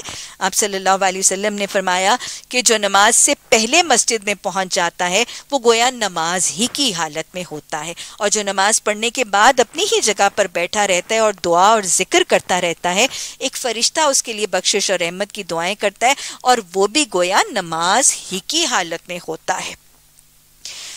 फरमाया अच्छा तो सुनो, हमने तुम्हारे पीछे तुम्हारी कौम को आजमाइश में डाल दी है और सामरी ने उन्हें गुमराह कर दिया सामरी कौन था? हज़रत मूसा का ओपोनेंट था, मुखालिफ था। नबियों के मुखालिफ हमेशा रहे हैं और बड़े बड़े मुखालिफिन भी रहे हैं। हज़रत मोहम्मद सल्लल्लाहु अलैहि वसल्लम के मदीना में दो बड़े ओपोनेंट्स का तस्करा मिलता है। अब्दुल्ला बिन अबई, जो नबी सल्लल्लाहु अलैहि वसल्लम का सियासी या पॉलिटिकल हरीफ था, और अबू आमिर राहिब जो नबी सल्लल्लाहु अलैहि वसल्लम का दीनी या रिलीजियस ओपोनेंट था। लेकिन सामरी जो है ना, वो हज़रत मूसा का दीनी और सियासी दोनों हरीफ इकट्ठा था। ये जादूगर भी था और ये सुनार भी था। और गोल्ड स्मिथ था। तो ये भी साथ ही था। तो उसका आगे तस्करा आता है। सामरी ने उन्हें गुमराह कर दिया मूसा सख्त गुस्से और रंज की हालत में अपनी कौम की तरफ़ पलटा। जब कौम शिरक करे, अल्लाह की नाफरमानी करे तो सरबराहों को, रहनुमाओं को, दीनी सरबराहों को भी गुस्से और रंज की हालत में आना है। जाकर उन्होंने अपनी कौम से कहा मेरी कौम के लोगों, क्या तुम्हारे रब ने तुमसे अच्छे वादे नहीं किए थे? क्या तुम्हें दिन लग गए हैं? या तुम अपने रब के गजबी को अपने ऊपर लाना चाहते हो कि तुमने मुझसे वादा खिलाफी कर ली है? उन्होंने जवाब दिया, हमने आपसे वादा खिलाफी कुछ अपने इख्तियार में नहीं की है मामला ये हुआ कि लोगों के जेवरात के बोझ से हम लद गए थे और हमने उन्हें फेंक दिया। फिर इसी तरह सामरी ने कुछ डाला और उनके लिए एक बछड़े की मूर्त बनाकर लाया, जिसमें से बैल की आवाज़ निकलती थी। लोग पुकार उठे, यही तुम्हारा खुदा है और मूसा का खुदा है। मूसा इसे भूल गया था। क्या वो देखते नहीं थे कि ना वो उनकी बात का जवाब देता है और ना ही उनके नफा और नुकसान का कुछ इख्तियार रखता है? असल में सामरी ने क्या किया? वो जो गाय का वो बछड़ा था ना, वो इनके दिलों में बैठा हुआ था। उशरबूफी कुलूबी हिमुल इजला। आया सूरा बकरा में। मोहब्बत तो बची हुई थी। अब ये सोने का चक्कर क्या था? जब हज़रत मूसा ने रातों रात हिजरत का हुक्म दिया था तो इन्होंने हिजरत तो कर ली थी। लेकिन औरतों की साइकी ना हर दौर में एक जैसी होती है। वो खातन बनी इसराइल की जो घर, बार, जायदादें, सारा कुछ बस्ती, कौम, वतन, सारा कुछ छोड़ के निकली थी ना, वो अपने सीनों से अपने जेवर और अपने सोने लेकर चल। इसको नहीं वो छोड़ के आई। अपने जेवरात और अपने सोने ले आई। अब जब सहरा में आई और इतना सोना साथ अपने सारे जेवरात ले आई, अब यहाँ पर ना कोई नकदी, ना कोई कैश ना कोई सोना, चांदी, ना खरीदो, फरोख्त, ना माल, तिजारत, ये सोने क्या काम था? बेकार था। और वैसे भी सज बन के किसको दिखाएँगी हाँ? वो कहते हैं ना, जंगल में मोर नाचा किसने देखा? अब ये सोना और जेवरात सारा बेकार हो गया। तो सारों ने आहिस्ता आहिस्ता क्या किया? वो सोना जो है ना, उसको ढेर पे फेंक दिया। अब जब सोने का एक ढेर बन गया तो सामरी जो बाई ट्रेड क्या था? सुनार और गोल्ड स्मिथ था। उसने सारा सोना इकट्ठा किया, उसको पिघलाया और वो जो एक मूर्ति उसने बछड़े की अब दो टेम्पटिंग चीज़ें होंगी, ना एक तो मूर्ति बछड़े की बनी, ऊपर से महबूब सोने की बनी। ऊपर से उसने क्या किया? एक मुजाना सी आवाज़ के लिए। वो जैसे बच्चों के टॉयज होते हैं ना, कि उसके अंदर एक सीटी होती है, उसको दबाओ तो आवाज़ निकलती है। इसके अंदर भी उसने कुछ मुँह की हालत, बड़ा फनकार था, बड़ा माहिर था अपने फन में। उसने उस बछड़े का मुँह कुछ ऐसा बनाया कि उसमें से जब आवाज़ निकलती थी ना तो एक आवाज़ गाय की आवाज़ आती थी। अब एक अजीब सी मुजाना सोने का बचड़ा आवाज़ निकालने वाला, इन्होंने इसको अपना खुदा बना के पूजना शुरू कर दिया। मूसा सलाम ने हारून मूसा इस्लाम के आने से पहले इन्हें कह चुका था कि, लोगों, तुम इसकी वजह से फितने में पड़ गए हो। तुम्हारा रब रहमान है। तुम मेरी पैरवी करो और तुम बात मानो। मगर उन्होंने कह दिया, हम तो मूसा की पर, हम तो इसी की परस्तिश करते रहेंगे जब तक मूसा वापस ना आ जाए। मूसा सलाम कौम को डांटने के बाद हारून की तरफ़ पलटा। जब कौम ने शिर किया था और कौम ने फितना किया था तो सबसे पहले अकाउंटेबिलिटी किसकी हुई थी? सबसे पहले मुआवजा मुहासबा अकाउंटेबिलिटी हज़रत मूसा अपने भाई की और अपने अहल खाना की करते आज के हुक्मरानों के लिए बहुत बड़ा पैगाम है। जब कोई फितना फसाद हो तो सबसे पहले मुहासबा अपने अहल खाना और अपनी ज़ात का होगा। आज हमारे हुक्मरान और हमारे सियासतदान अपनों को छोड़ देते हैं, अपने अहल खाना को भी छोड़ देते हैं। बेटे तजोरियाँ भरते हैं तो भरते रहते हैं। बेटी हराम खा रही है तो हुकूमत के चराग जला रही है। कोई परवाह नहीं, कोई फ़िक्र नहीं। बल्कि अपने बेटों और बेटियों को, क्या अपने रिश्तेदारों को भी जो है वो इस सारी की सारी दौलत नगरी बचा बचाने में इस्तेमाल करते हैं। बहरहाल, हज़रत मूसा कौम को डांटने के बाद हारून की तरफ़ पलटे। बोले, हारून, जब तुमने देखा था कि ये गुमराह हो रहे हैं। तो किस चीज़ ने तुम्हारा हाथ पकड़ा कि मेरे तरीके पर अमल ना करो? जब कौम शिरक करने लगे, नाफरमानी करने लगे तो उनको सुन्नतों की तरफ़ पलटाना है। क्या तुम्हारे, क्या तुमने मेरे हुक्म की खिलाफ वर्जी की थी? हारून सलाम ने जवाब दिया है मेरी माँ के बेटे, मेरी दाढ़ी ना पकड़, मेरे सर के बाल ना खींच। अब आपको पता चल रहा है कि हज़रत मूसा सलाम ने अपने अहले खाना और अपने भाई की अकाउंटेबिलिटी और ऑडिट कितना सख्त किया था और कितनी तलखी से किया था। मुझे इस बात का डर था कि तू आकर कहेगा कि तुमने बनी इसराइल में फूट डाल दी और मेरी बात में, मेरी बात का पास न किया। मूसा सलाम ने भाई को पूछा, कौम को पूछा, अब सामरी की तरफ़ मुतवजे मूसा सलाम ने फरमाया, सामरी, तेरा क्या मामला है? मतलब तूने ये सारा बछड़ा क्यों बनाया था? उसने जवाब दिया, ये वैसे ही बड़ा होशियार और चरब जबान है।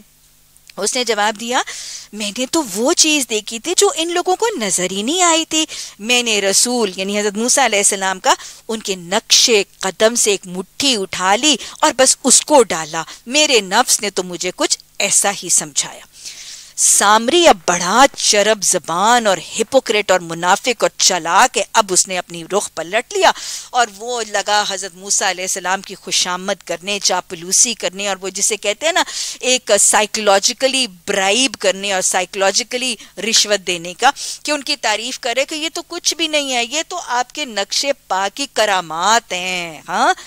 नक्शे पा की करामात या कबर की मिट्टी की करामात? ये कोई तस्वुर शरीयत में मौजूद नहीं है, ये शिरक है। इन अकायद में बात होती रहेगी। मूसा सलाम ने कहा अच्छा तू जा, अब ज़िंदगी भर तुझे यही पुकारते रहना है, मुझे ना छूना। आपको पता है कि फिर हमें इसको ना अल्लाह के हुक्म से कोड़ का मरज हो गया था। स्किन की कोई मरज आई थी और ये सबको यही कहता था कि मुझे ना छूना और वो दूर इसको निकाल दिया गया था बस्ती से। शिर करने वालों का यही अंजाम अल्लाह के यहाँ मौजूद है। और फिर तेरे बाजपुरस का एक वक्त मुकर है जो तुझसे हरगिज नहीं टलेगा और देख अपने इस खुदा को। खुदा क्या था? वो बछड़ा। उस खुदा को जिस पर तू रीझा हुआ है। अब हम इसे जला डालेंगे, रेजा रेजा कर देंगे, दरिया में बहा देंगे। लोगो, तुम्हारा खुदा तो बस एक अल्लाह है, जिसके सिवा कोई और खुदा नहीं, हर चीज़ पर उसका इल्म हावी है। हज़रत मूसा सलाम ने क्वेश्चनिंग और क्रॉस क्वेश्चनिंग और अकाउंटेबिलिटी सामरी से भी की, हज़रत हारून से भी की, कौम को भी शिरक पर डांटा, झिड़का और वो जो शिरक का वो बछड़ा बनाया गया था, उसको जलाया गया। और फिर अल्लाह कह रहे हैं ना लानु हर हो इसको जला कर रेजा रेजा करके उड़ा दिया गया था, बहा दिया गया था। ये शिरक को माशे से निकालने का तरीका अम्बिया के कि शिरक का एक रेजा भी अगर छोड़ दिया गया तो वो फिर बीज बन के एक बहुत बड़ा दरख्त बन जाता है। तो लिहाजा शिरक की इरेडिकेशन माशरे में से इतनी कंप्लीट इरेडिकेशन जो है, फाइनेस्ट एक्सटेंट तक ज़रूरी है। अल्लाह हमें शिरक को समझने, समझाने और बचने बचाने की तोफ़ी कता फरमाए। ए मोहम्मद सल्लल्लाहु अलैहि वसल्लम, इस तरह हम पिछले गुजरे हुए हालात की खबरें तुम्हें सुनाते हैं और हम खास अपने हाथ से तुम्हें एक ज़िक्र नसीहत अता की है, जो कोई इससे मुँह मोड़ेगा, वो क़यामत के रोज़ सख्त बारे गुनाह उठाएगा और ऐसे सब लोग हमेशा उसके बबाल में गिरफ़्तार रहेंगे। अल्लाह हमें इन में ना बनाना और क़यामत के दिन उनके लिए इस जुर्म की ज़िम्मेदारी का बोझ बड़ा तकलीफ़ दे बोझ होगा। उस दिन जबकि सूर फूका जाएगा, हम मुजरिमों को, किसके मुजरिम है? मुजरिम है। इस हाल में लाएँगे कि उनकी आँखें दहशत के मारे पत्थराई हुई होंगी। हमें पता चलता है ना कि कयामत के दिन मैदान हशर में जहन्नुम को मैदान हशर के करीब लाया जाएगा। सत्तर हज़ार बागें होंगी और सत्तर हज़ार फरिश्ते एक एक बाग को थामे होंगे और उसको खींच के मैदान हशर के करीब लाया जाएगा और वो नाम पुकार रही होगी। हाँ वो नाम पुकारी होगी अल्लाह के मुजरमों के। और हदीस में आता है कि जो अल्लाह के नाफरमान मुशिक जहन्नमी है ना, वो आँख भर के उसको देख नहीं सकेंगे, वो कनखियों से देखेंगे, इतना खौफ और इतनी हैबत होगी। और फिर वो आपस में चुपके चुपके कहेंगे, दुनिया में तो तुम मुश्किल से दस ही दिन गुजरे हो, हमें खूब मालूम है, वो क्या बातें कर रहे होंगे? और हम ये भी जानते हैं कि उस वक्त उनमें से जो ज़्यादा से ज़्यादा मोहतात अंदाज़ा लगाने वाले वो कहेगा नहीं, तुम्हारी ज़िंदगी तो बस एक दिन की थी। अल्लाह अकबर। मेरी बहनों, मेरी बेटियों, वो मैदान हशर में ये दुनिया की ज़िंदगी जिसे मैं और आप कुल समझते हैं। मैं और आप जिसको कुल समझते हैं, अपने सारे तन, मन, धन, औकात सारे इस पर लुटाते हैं। सारी मोहब्बतें, सारी गमों इसी से करते हैं। यही की नेमतों की फ़िक्र है, यही की महरूमियों की फ़िक्र है, यही की बीमारियों की परेशानियाँ यही के हालात की इसलाह की तड़प है। नहीं फ़िक्र तो उस अबदी की नहीं फ़िक्र। वो, ये दुनिया दारुल अमल है, यहाँ पर हिसाब नहीं है। वो दारुल हिसाब है, वहाँ पर अमल नहीं है, ये आरजी है, वो अबदी है, ये अदना है, वो आला है, ये हकीर है, वो बरतर है, और सबसे बढ़ के ये आरजी है, ये फ़ानी है, वो हमेशा रहने वाली है, अल्लाह हमें उसकी फ़िक्र अता फरमा दे। ये लोग तुमसे पूछते हैं कि आखिर उस दिन पहाड़ कहाँ चले जाएँगे? कहो, मेरा रब उन सबको धूल बना के उड़ा देगा और ज़मीन को ऐसा हमवार चटियल मैदान बना देगा कि इसमें तुम कोई बल और सिलवट नहीं देखोगे। उस रोज सब लोग मनादी की पुकार पर सीधे चले आएँगे। आज तो मोजिन ऐलान करते हैं ना हैया हैया फला सुस्तियाँ कायलियाँ कमियाँ, कुताइयाँ, पता नहीं क्या क्या कुछ। उस दिन सब सीधे चले आएँगे। कोई जरा अकड़ नहीं दिखा सकेगा। आवाज़ें रहमान के आगे दब जाएँगी। एक सरसराहट के सिवा तुम कुछ नहीं सुनोगे। उस रोज सिफारिश कारगर नहीं होगी। इल्ला ये कि किसी को रहमान की इजाज़त हो और उसकी बात सुनना पसंद करे। वो लोगों का अगला पिछला सब हाल जानता है और दूसरों को इसका पूरा इल्म नहीं। लोग उसके आगे किसके आगे? आनतिल वज़ू किसके आगे सर झुक जाएँगे? लिल हय्यल कयूम हय्यो कयूम रब के आगे सर झुक जाएँगे। सूरत तोहा की आयत नंबर 111 दोहरा लीजिए। आप सल्लल्लाहु अलैहि वसल्लम ने फरमाया था, इसमें आज़म को तीन आयात में तलाश करो। सूरा बकरा की आयतल कुर्सी जो तमाम कुरान की आयत की सरदार है सूरा बकरा की आयतल कुर्सी, सूरा लिमरान की आयत नंबर दो और सूरा तोहा की आयत नंबर 111 और जब इन तीनों आयात में कॉमन वर्ड देखा जाता है तो वह हयल कयूम है, यही इसमें आज़म है। आपने तीन आयात का हवाला देकर फरमाया, इसमें आज़म को इन तीन आयात में तलाश करो, और फिर आपने फरमाया, जो इसको पुकार के दुआ करेगा, उसकी दुआ रद्द नहीं होगी। आप सल्लल्लाहु अलैहि वसल्लम का तरीका भी इसीलिए ये है कि जब आप परेशान होते थे तो इस तराब और टेंशन और एंजाइटी के वक्त की दुआ क्या है? या हयु या कयूम बिरहमती का नस्तगीस मैं नस्तगीस कहती हूँ, अलिफ नहीं लगाती। अलिफ मैं है और नून से मुराद हम है। अपनी दुआओं में जमा का सीगा इस्तेमाल करके सबको अपनी दुआओं में शामिल रखा करें।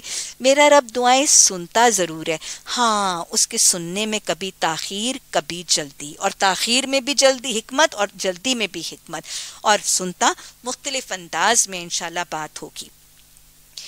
नामुराद होगा जो उस वक्त किसी जुल्म का बारे गुनाह उठाए और किसी जुल्म या हक तलफी का खतरा नहीं होगा, उस शख्स का जो नेक अमल करेगा और उसके साथ वो मोमिन भी होगा। इसी तरह हमने इसे कुरान अरबी बना के नाजिल किया है और इसमें तरह तरह की तंबीहात हैं। शायद ये लोग कजरबी से बचें या उनमें कुछ कोश के असरात इसकी बदौलत पैदा हों। पस बाला और बरतर है अल्लाह बादशाह हकीकी। और देखो, कुरान पढ़ने में क्या ना किया करो। वला तजअल बिल कुरानी कुरान पढ़ने में जल्दी ना किया करो। अल आजिला तो मीन शैतान। जल्दबाजियाँ सारी की सारी शैतान का काम है। अल्लाह सुबहाना ताला ने मोहम्मद सल्लल्लाहु अलैहि वसल्लम को कुरान में एक दफ़ा नहीं, एक से ज़्यादा दफ़ा कुरान को जल्दी जल्दी और तेज़ी से पढ़ने में मना कर दिया। हालाँकि आप अहले ज़बान थे, आप हाफिज कुरान थे, आप तेज़ी से पढ़ते थे तो सदाकत और अमानत की नीयत से पढ़ते थे कि लोगों तक महफूज शक्ल में पहुँचाएँ फिर भी बेहतरीन अंदाज में हाफिज कुरान बेहतरीन नीयत से पढ़ते हैं और हबीब खुदा पढ़ते हैं तो फिर भी रोका जाता है। एक असूल याद रखिएगा, कुरान को जल्दी पढ़ना तरीका नहीं है।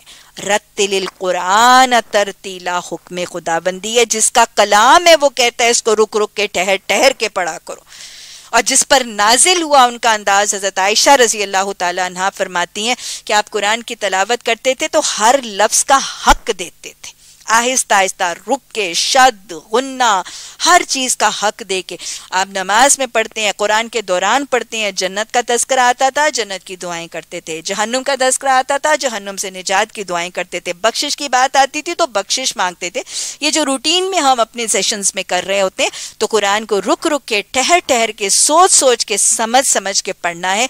और वैसे भी जल्दबाजी, अगर इस चीज़ में जायज़ नहीं और पसंदीदा नहीं तो ज़िंदगी के किसी शोबे में, कारोबार में, अजवाजी ज़िंदगी में, दीन में, दुनिया में किसी चीज़ में नहीं, मोमिन की ज़िंदगी में ठहराओ है जमाओ है। और दोहराएँ, आपने तो बाजमात नमाज़ को पकड़ने के लिए जल्दी दौड़ने से भी मना फरमाया था। अल्लाह हमें अपनी जिंदगियों में तहमुल वकार और सुकून और ठहराव अता फरमाए। अल्लाह ने फरमाया कि एक तो कुरान को रुक रुक कर पढ़ा करो और फिर दुआ करो कुर्रबी जिदनी इल्मा। अल्लाह अपने हबीब को ये दुआ करने का तरीका सिखा रहे हैं। तो सबसे बड़ी बात तो ये कि फिर दुआओं में से बेहतरीन दुआ क्या है? हसूल इल्म कोशिशों में से बेहतरीन कोशिश क्या है? हसूल इल्म कुरान और हदीस के इल्म की हसूल की दुआ करना, मेहनत करना, सही करना एफर्ट करना और उसके लिए अपने औकात लगाना, ये सबसे पहली तरजीह है जो अल्लाह अपने हबीब को सिखा रहे हैं और जो अल्लाह अपने हबीब को सिखा रहे हैं, उससे कोई बेहतर चीज़ हो नहीं सकती। अल्लाह ने मोहम्मद सल्लल्लाहु अलैहि वसल्लम को फरमाया कि आप इल्म के बढ़ बढ़ोती की दुआ करें हज़रत मूसा ने दुआ मांगी आऊजुबिल्लाही अन अकूना मिनल जाहिलीन के मैं पना माँगता हूँ कि मैं जाहिलों में से ना हो जाऊँ। और इस दुआ के बाद मोहम्मद सल्लल्लाहु अलैहि वसल्लम ने एक नहीं बहुत सी मसनून दुआएँ इल्म के इजाफे के लिए कर, कर दी। आप सल्लल्लाहु अलैहि वसल्लम की दुआ वो जो आब जमज़म पीते वक्त है, अल्लाहुम्मा इन्नी अस आलुका इल्मन नाफ़ियन, रिज़्क़न तय्यबन व अमलन मुतकब्बला। ऐसा इल्म दे जो मुझे नफ़ा दे दुनिया और आखरत का। और इस इल्म से मुझे रिस्क हलाल दे और इस इल्म के बाद मुझे ऐसा अमल दे जो तू कबूल भी कर ले। दूसरी दुआ, अल्लाहुम्मा फ़क्किह नाफिद्दीन एक और दुआ अल्लाहुम्मनफ़ानी बिमा तनी अल्लाहुम्मनफ़ानी बिमा अल्लमतनी व अल्लिमनी मा यनफ़ाउनी व ज़िदनी इल्मा। जो जो मुझे इल्म दिया ना, अब मुझे उसमें दुनिया और आखिरत का फ़ायदा दे। और अल्लाह आगे से मुझे इल्म ही वो दे जो नफ़ा देने वाला है। अगर आप देखें, मेरी उम्र के लोग भी और अब की उम्र के लोग भी हर दौर में अपने अपने इल्म और फ़न होते हैं। लेकिन वो फूल बनाने का इल्म, वो ग्लास फ्लावर्स बना रहे हैं, कागज़ के फूल बना रहे हैं मैक्रमे की नॉट सीख रहे हैं। कितने कितने इल्म और फन सीखे जिसका दुनिया और आखिरत में कोई फ़ायदा नहीं, बेसूद।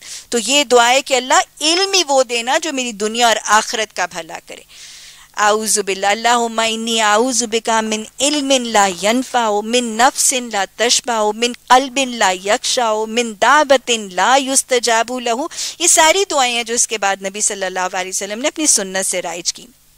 हमने इससे पहले आदम सलाम को एक हुक्म दिया, मगर वो भूल गया और हमने उसमें अज़म ना पाया। याद करो, जबकि हमने फरिश्तों से कहा था, आदम को सजदा करो तो सबने सजदा किया, मगर एक इबलीस था कि इनकार कर बैठा। इस पर हमने आदम से कहा, देखो, ये तुम्हारा और तुम्हारी बीवी का दुश्मन है। ऐसा ना हो कि कहीं तुम्हें ये जन्नत से ही निकलवा दे और तुम मुसीबत में पड़ जाओ। यहाँ तो तुम्हें ये आसाइशें हासिल हैं कि ना भूखे नंगे रहते हो, ना प्यास और धूप तुम्हें सिखाती है। जन्नत में यही है ना सारा कुछ। लेकिन शैतान ने उसे बहका दिया। कहने लगा, आदम, मैं बताऊँ तुम्हें वो दरख्त जिससे अबदी ज़िंदगी और लासवाल सल्तनत हासिल होगी? आखिरकार दोनों मियाँ बीवी उस दरख्त का फल खा गए। आपको पता है ना कि ये खैर खा बन के आया था, दोस्ती की तरह डाली थी और फिर रोता रोता आ गया था। मुझसे तुम्हारी हालत नहीं देखी जाती। वो दरख्त जिसके लिए अल्लाह ने क्या कहा था? तुम इस दरख्त के वाला तकरब हाजिशरता फतकूना मिनज़ालिमीन इस दरख्त के करीब ना जाना तुम जालिम। अल्लाह के डोंट को कर लिया था तो जुल्म हो गया था। नतीजा ये हुआ कि फ़ौरन उनके सतर खुल गए। शैतान का पहला हमला क्या होता है? सतर खोलता है और सतर वो खोलता है इसलिए कि सतर खोलता है, बेलिबास करता है, बेहिजाब करता है, हया का पर्दा चाक करता है। और फिर हदीस क्या है? वह मल्लम यस्ता ही फसना माशेता जब तुझ में फिर हया ना रहे तो फिर तू जो चाहे कर। तो पहला हमला जो है वो सतर खोलना और बेहयाई करना। अब एक दूसरे के सतर खुल गए तो उन लोगों ने क्या किया? वो लगे अपने जन, अपने आप को जन्नत के पत्तों से ढांकने क्योंकि हया एक फितरी जज्बा है ना? आदम सलाम ने रब की नाफरमानी की और राह राज से भटक गया।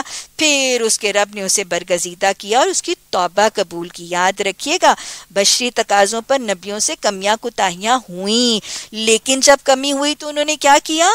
तौबा इस्तफार इसलाह का वादा और अल्लाह क्या करता है? इन अल्लाहबुतवाबीन अल्लाह ने तौबा कबूल कर ली और हदायत बख्शी। फरमाया, तुम दोनों फरीक इंसान और शैतान यहाँ से उतर जाओ। तुम एक दूसरे के दुश्मन हो। अब अगर मेरी तरफ़ से कोई हदायत पहुंचेगी तो जो कोई मेरी इस हदायत की पैरवी करेगा, ना वो भटकेगा, ना बदबख्ती में मुबतला होगा। जो मेरे ज़िक्र और मेरी मेरी याद से मुँह मोड़ेगा।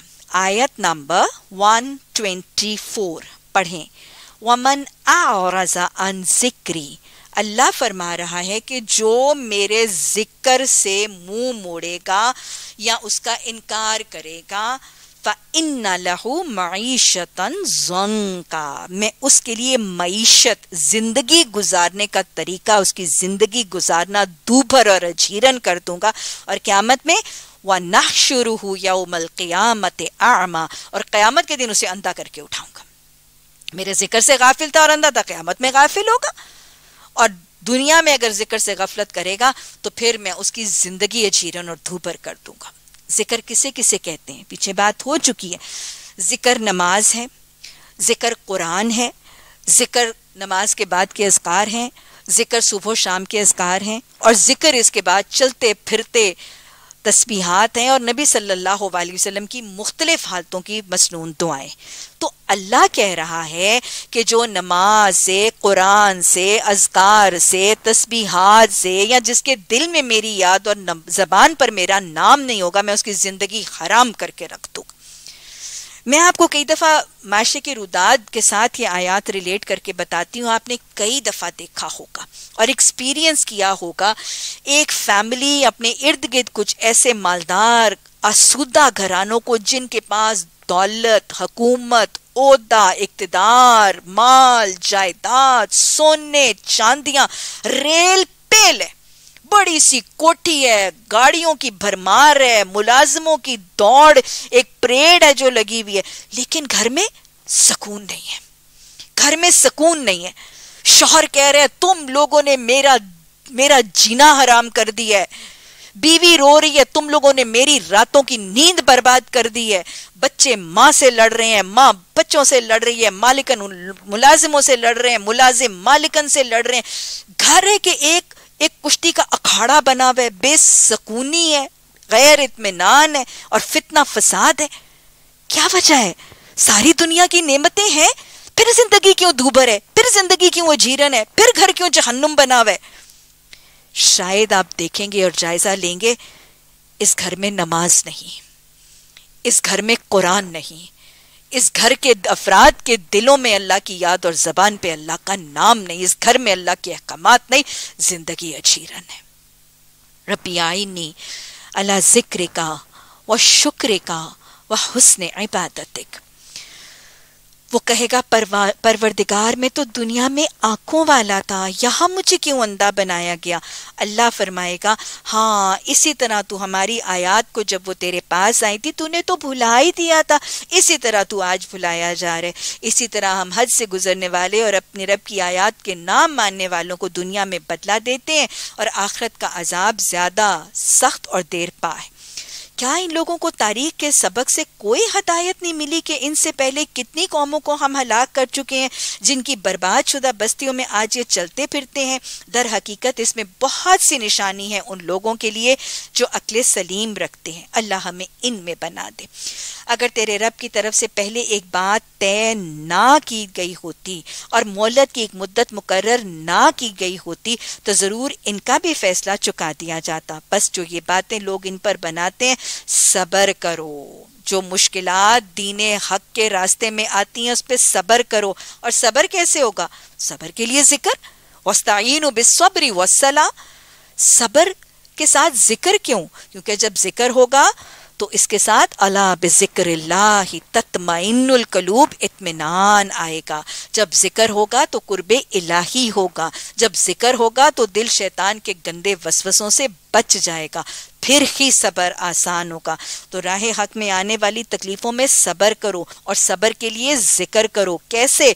अपने रब की हमदो सना के साथ उसकी तस्बी करो। कब? सूरज के निकलने से पहले, गरूब होने से पहले। रात के औकात में भी तस्बी करो और दिन के किनारों पर भी। क्यों करो? शायद कि तुम्हारा रब रासी हो जाए। इस आयत में, जैसे मैंने आपको कल भी बताया था कुरान में कहीं डायरेक्टली नमाज़, पाँच वक्त की नमाज़ के औकात को हाईलाइट नहीं किया गया। इसी तरह इनडायरेक्टली इशारे में औकात बताए गए। यहाँ पर पंजगाना नमाज़ का हुक्म आ रहा है। या तो जो ये कहा जा रहा है कि इन औकात पे ज़िक्र करो तो इसका मतलब पाँच वक्त की नमाज़ है। या पाँच वक्त की नमाज़ के बाद के असकार हैं। और पाँच वक्त की नमाज़ और पाँच वक्त की नमाज़ के बाद के असकार क्या हैं? अल्लाह की रजा का ज़रिया भी हैं, ये भी आयत समझा रही है। और वैसे इस आयत में मसनून सुबह शाम के असकार के औकात और हुक्म भी दिया और बताया जा रहा है। जो मैंने कल आपको कहा और मुझसे सवाल आया कि सुबह शाम के मसनून अजगार जो हिफाजत की दुआएँ हैं, वो कब की जाए? इस आयत से पता चल रहा है कि सुबह शाम के अजगार सिर्फ़ सुन्नत मौकदा नहीं है, ये हुक्म खुदाबंदी भी हैं। और इनके औकात क्या हैं? कबला तलु शम्स व कबला गरूबिहा, फजर के बाद और असर से पहले। अल्लाह हमें जाकिर ज़बान शाकिर दिल और साबिर जिसम और दीन के बेहतरीन मददगार अता फरमाए। और अल्लाह ने फरमाया कि ये करो, सब्र और ज़िक्र करो और निकाह उठा कर भी ना दिखाओ। देखो दुनिया की दुनियावी ज़िंदगी की शान और शौकत पर जो हमने इनमें से मुख्तलिफ़ किस्म के लोगों को दे रखी है, वो तो हमने उन्हें आजमाइश में डालने के लिए दी है और तेरे रब का दिया हुआ रिस्क हलाल बेहतर है। अल्लाह मकफिनी अन हलालिका अन हरामिक व अग्नि बिफदलिका अमन सिवा इसके हलाल बेहतर भी है और पाइंदा भी। अपने अहलो अयाल को क्या करो? व मुर का बिसलाती वस्ताबिर अलैहा। अपने अहलो अयाल को नमाज़ का हुक्म दो। हमने कल भी बात की थी, खलीलुल्लाह जबीउल्लाह इतनी बड़ी नमाज़ के लिए कुर्बानियाँ और इतनी नमाज़ के लिए दुआएँ करने के बाद भी क्या करते हुए नज़र आते हैं हज़रत इस्माइल? कि वो क्या करते थे? अपने घर वालों को नमाज़ का हुक्म देते थे। नमाज़ का हुक्म देना जिससे मोहब्बत है, वो मोहब्बत का सबसे पहला तरीका है। लोगों को नमाज़ की दावत दे दे। रब के आगे झुकने का पैगाम और कायल और माइल कर दें, ये मोहब्बत का सबसे बड़ा तकाजा है। मैं तो कहती हूँ कि बहुत खुद गर्ज है वो माँ। बहुत खुद गर्ज है वो माँ जो खुद तो तहजद भी पढ़ती है, खुद तो फजर भी पढ़ती है, चाश की नमाज़ तक बैठ कर फजर का कुरान भी पढ़ती है, लेकिन उसके सामने जवान, साल, बेटे, बेटियाँ अपनी फजर की नमाज़ को छोड़ देते हैं, महवे काबे खरगोश रहते हैं। हाँ माँ कहेगी ज़रूर, माँ बताएगी ज़रूर, मोहब्बत से, हिकमत से, प्यार से, दानाई से, नरमी से, समझाएगी ज़रूर। असर ना हो तो वो उसका मामला। लेकिन ऐसी खुद गर्जी तो ना कर लीजिए कि अपनी जन्नत की कुंजी तैयार करने की फ़िक्र है, अपनी खाल और गोश्त को जहन्नुम की आग से बचाने की फ़िक्र है, और उन प्यारों की जन्नत की कुंजी जिनके लिए घर दुनिया में बनाते हैं, जिनके प्लॉट छोड़ के जाते हैं पोते पोतियों के लिए प्लॉट खरीदते हैं, और जन्नत की कुंजी की फ़िक्र ही नहीं करते। मैं आगे चलने से पहले आपको ये ज़रूर जेन नशीन कराना चाहूँगी कि नाबालिग बच्चों की जवाब, नमाज़ का हिसाब और जवाब उनके वालदेन से है। हदीस के अल्फाज हैं, आप सल्लल्लाहु अलैहि वसल्लम ने फरमाया, तुम में से हर शख्स राई है और हर राई से उसकी रैयत के बारे में सवाल किया जाएगा। मर्द अपने घर का राई है और मर्द की गैर मौजूदगी में औरत अपने घर की राइया है। जब शोहर घर में है तो उस नाबालिग बच्चों की नमाज़ का सवाल और जवाब दे वो है। और जब बाप घर में नहीं है तो घर के जो सारे नाबालिग बच्चे हैं, उनकी नमाज़ का सवाल और जवाब माँ से मौजूद है। आपने फरमाया था ना, सात साल की उम्र नहीं है। आपने फरमाया था कि जब तुम्हारे बच्चों के दूध के दांत गिर जाएँ तो उन्हें नमाज़ का हुक्म दो। इस छोटी सी कच्ची उम्र में उनको नमाज़ की तरबियत कर दी गई है, ताकि बड़े होकर उनको डंडे ना मारने पड़े। तो लिहाजा ये वो उम्र है कि जब बच्चे बलूग तक नमाजों का हिसाब किताब माँ बाप से है। अगर नाबालिग बच्चे नमाज़ नहीं पढ़ते तो हिसाब किताब माँ बाप से हाँ जब वो बालिग होकर नहीं पढ़ेंगे तो हिसाब उनसे अपना होगा, फिर गुनाह माँ बाप को नहीं होगा। लेकिन अगर वो बालिग होकर महज इसलिए पढ़ेंगे कि माँ बाप ने पढ़ना सिखाया था और माँ बाप ने तरगीब दी थी और माहौल बनाया था, और दूसरा तरीका ये कि वस्त बेरे सिर्फ़ उनको ना कहो, खुद अपने नमूने भी दो। माँ बाप पाँच वक्त की नमाज़ का हुक्म दें और खुद जरा नफल पढ़ के दिखाएँ कि हम तो सिर्फ़ ये नहीं, इससे ज़्यादा भी पढ़ रहे हैं तो इनशाला वो जाती नमूने से भी सीखेंगे। इसलिए अगर बच्चे नमाज़ पढ़ेंगे तो वो बच्चे और बच्चों की नमाज़ जो है वो उनके लिए सदका जारिया भी बनेगी। रब्बी जालनी मकीम सलाती व मिनसुरियती हम तुमसे कोई रिस्क नहीं चाहते, रिस्क तो हम तुम्हें दे रहे हैं और अंजाम की भलाई तकवाही के लिए। वो कहते हैं कि ये शख्स अपने रब की तरफ़ से कोई निशानी कौन? मोहम्मद सल्लल्लाहु अलैहि वसल्लम। मोद सा क्यों नहीं लाता? और क्या उनके पास अगले सहीफों की तमाम तालीमत का बयान वाजे नहीं है?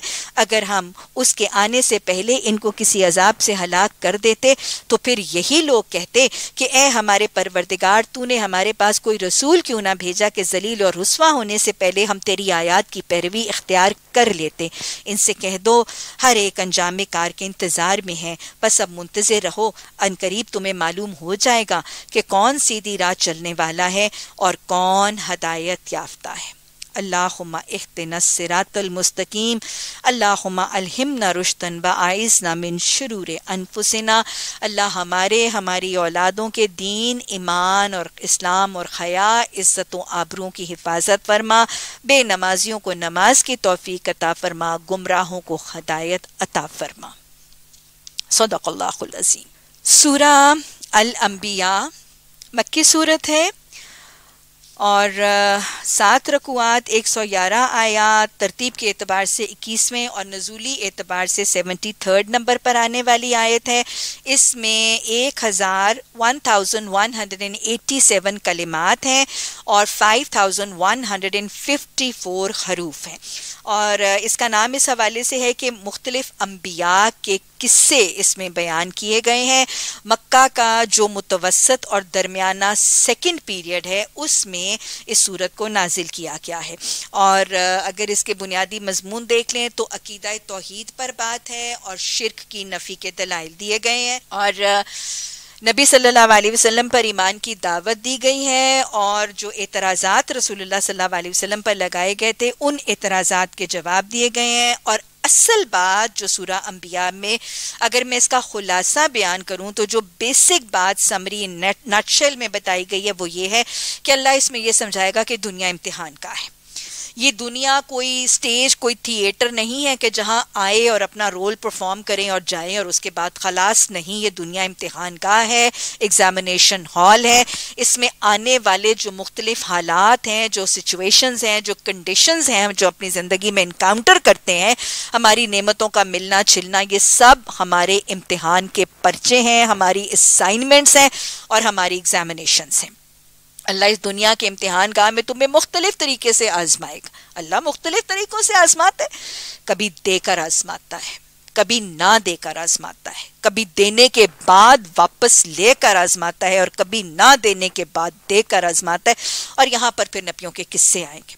हज़रत इब्राहिम सलाम का किस्सा आएगा कि कैसे एक बुत परस्त माशरे में उन्होंने आँख खोली और शिरक से आजमाए गए और फिर तोहीद देकर आजमाए गए। कि कैसे तोहीद एक मुश्रकाना माहौल डिप्राइव कर दिया गया उनको अच्छे माहौल से और फिर नेमत दे दी गई उनको तोहीद पर ईमान की और वो उनकी आजमाइश थी कि कैसे उन्होंने रिएक्ट किया और कैसे रिलेट किया। फिर हज़रत दाऊद सलाम और हज़रत सलेमान सलाम की रुदाद, उनकी तो रुदाद ही ज़िक्र और शुक्र की रुदाद है ना? तो उनकी रुदाद आएगी। कैसे अल्लाह ने नेमतों से नवाजा और उन्होंने शुक्र किया?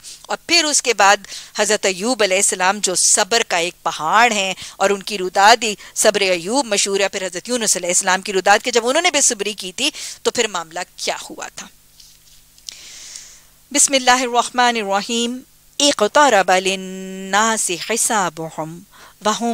गफलतिन मुअरिजून। इक़तरबा, करीब आ लगा करीब आ लगा लोगों के हिसाब का वक्त। वक्त तो करीब ही आ लगा है। इसीलिए कहा जाता है, हिसाब लें, इससे पहले के हिसाब लिया जाए। नमाज़ पढ़ें, इससे पहले के नमाज़ पढ़ी जाए। मिलके दुआ भी कर लें, और ये दुआ अपनी दुआओं का लाजिम हिस्सा भी बना लीजिए। अल्लाह हासिबना हिसाब यसीरा। अल्लाह जब तेरे सामने हाजिर हो तो हमारा हिसाब आसान लेना। अल्लाह सुबहाना ताला फरमा रहे कि करीब आ लगाए। क़यामत का दिन, हिसाब किताब का दिन। अल्लाह के नज़दीक जो वक्त और मयाद है, वो हमारी वक्त और मियाद से बहुत फ़र्क है। अल्लाह का एक दिन जो है, वो दुनिया के एक हज़ार साल के बराबर है। और अल्लाह सुबहाना ताला ने कुरान में एक और जगह फरमाया ना एक तरबत सात वन शक्ल कमर, के क़यामत करीब आ लगी और चाँद फट गया। तो गोया कुरान, कयामत और हिसाब किताब और यौमुद्दीन के करीब आने का तस्करा कुरान में एक से ज़्यादा दफ़ा मौजूद है और वो अल्लाह के नज़दीक करीब है। करीब आ लगा है लोगों के हिसाब का वक्त और उनका हाल क्या है कि वो गफलत में मुँह मोड़े हैं। उनके पास जो ताज़ा नसीहत भी उनके रब की तरफ़ से आती है ना, उसको तकल्लुफ से सुनते हैं और खेल में पड़े रहते हैं और दिल उनके दूसरी फिक्रों में मुनहमिक हैं इन्वॉल्व हैं बिज़ी हैं। प्री ऑक्यूपाइड आज कौन से दूसरे फिक्रे कल हमने नबी सल्लल्लाहु अलैहि वसल्लम के अल्लाह का बाखी नफ्सिक, उनके फिक्रों और गमों का पैमाना देखा और दुनिया के कुछ गमों के पैमाने देखे। आज गमों के पैमाने क्या हैं? हमारे घर? घर नहीं, घर छोटा है, बुरी आबादी लोकेलिटी में है, पुरानी फर्निशिंग है। हाँ घरों के फ़िक्र। घरों को बनाने के फ़िक्र, उनको सजाने और भरने के फ़िक्र और सजाने, भरने, बनाने के बाद उनको दिखाने के फ़िक्र, जोड़े बनाने की फ़िक्र, उनको सजाने की फ़िक्र और बना सजा के फिर लोगों को दिखाने की फ़िक्र, गाड़ियों की फ़िक्र, जेवरात की फ़िक्र प्रॉपर्टीज़ की फ़िक्र, नहीं फ़िक्र तो अपने और अपने अहल खाना को जहन्नुम की आग से बचाने की फ़िक्र। अल्लाह हमें वो गम आखरत अता फरमा। अल्लाह हमें उन बड़े फिक्रों से आशना कर दे। जालिम आपस में सरगोशियाँ करते हैं कि ये शख्स कौन? नबी सल्लल्लाहु अलैहि वसल्लम, आखिर तुम जैसा एक बशर ही तो है। नबियों पर हमेशा उनके दौर के लोगों ने उनकी बशरियत का एतराज़ किया और उनकी रसालत और नबूवत को मानने से मुनकर रहे। फिर क्या आँखों देख के जादू के फंदे में फंस जाओगे? रसूलुल्लाह सल्लल्लाहु अलैहि वसल्लम ने कहा, मेरा रब हर उस बात को जानता है जो आसमान और ज़मीन में की जाए और वो समी और अलीम है। वो कहते हैं, बल्कि ये तुपरा गंदा ख्वाब है, बल्कि ये मन घड़त है, बल्कि ये शायरी है, वरना लाए वो कोई निशानी जिस तरह पुराने ज़माने में रसूल निशानियों के साथ भेजे गए थे। हालाँकि इनसे पहले कोई बस्ती जिसने हमने हलाक किया है, ईमान नहीं लाई। अब क्या ये भी ईमान नहीं लाएँगे? रब्बना इन्ना आमन्ना फ़िर लना जुनूबना वकिना जाबन्नार तुमसे पहले पहले भी हमने इंसानों ही को रसूल बनाकर भेजा था, जिन पर हम वही करते थे। तुम लोग अगर इल्म नहीं रखते तो अहले किताब से पूछ लो, इन रसूलों को हमने कोई ऐसा जिसम नहीं दिया था कि वो खाते ना हो, वो सदा जीने वाले हों। फिर देख लो आखिरकार हम उनके साथ अपने वादे पूरे किए और उन्हें, और जिस जिसको हमने चाहा बचा लिया और हद से गुजर जाने वालों को हलाक कर दिया। लोगों, हमने तुम्हारी तरफ़ एक ऐसी किताब भेजी है जिसमें तुम्हारा ही ज़िक्र है। कुरान में किसकी बातें? हमारी बातें, हमारे अहकाम हमारे हलाल हराम, डूज, डोंट्स, हमारे फ़ायदे, नुकसान की बातें, हमारे अजवाज की, हमारे औलादों की, हमारे वालदेन के साथ, हमारे रिश्तेदारों के साथ, हमारी बस्ती, कौम, मिल्लत और उम्मत के अहकाम हैं। क्या तुम समझते नहीं हो? कितनी ही जालिम बस्तियाँ हैं जिनको हमने पीस के रख दिया। अल्लाह हमें इनमें ना बनाना। और उनके बाद दूसरी किसी कौम को उठा लिया। जब उनको हमारा अजाब महसूस आता हुआ महसूस होने लगा ना तो वहाँ से भागने लगे। फिर जब वो वहाँ से भागने लगे तो कहा गया, भागो नहीं, जाओ अपने उन्हीं घरों में और ऐश के सामानों में जिनके अंदर तुम चैन किया करते थे। शायद ये कि तुमसे पूछा जाए। फिर कहने लगे, हाय, हमारी कम बख्ती बेशक हम खतावार थे।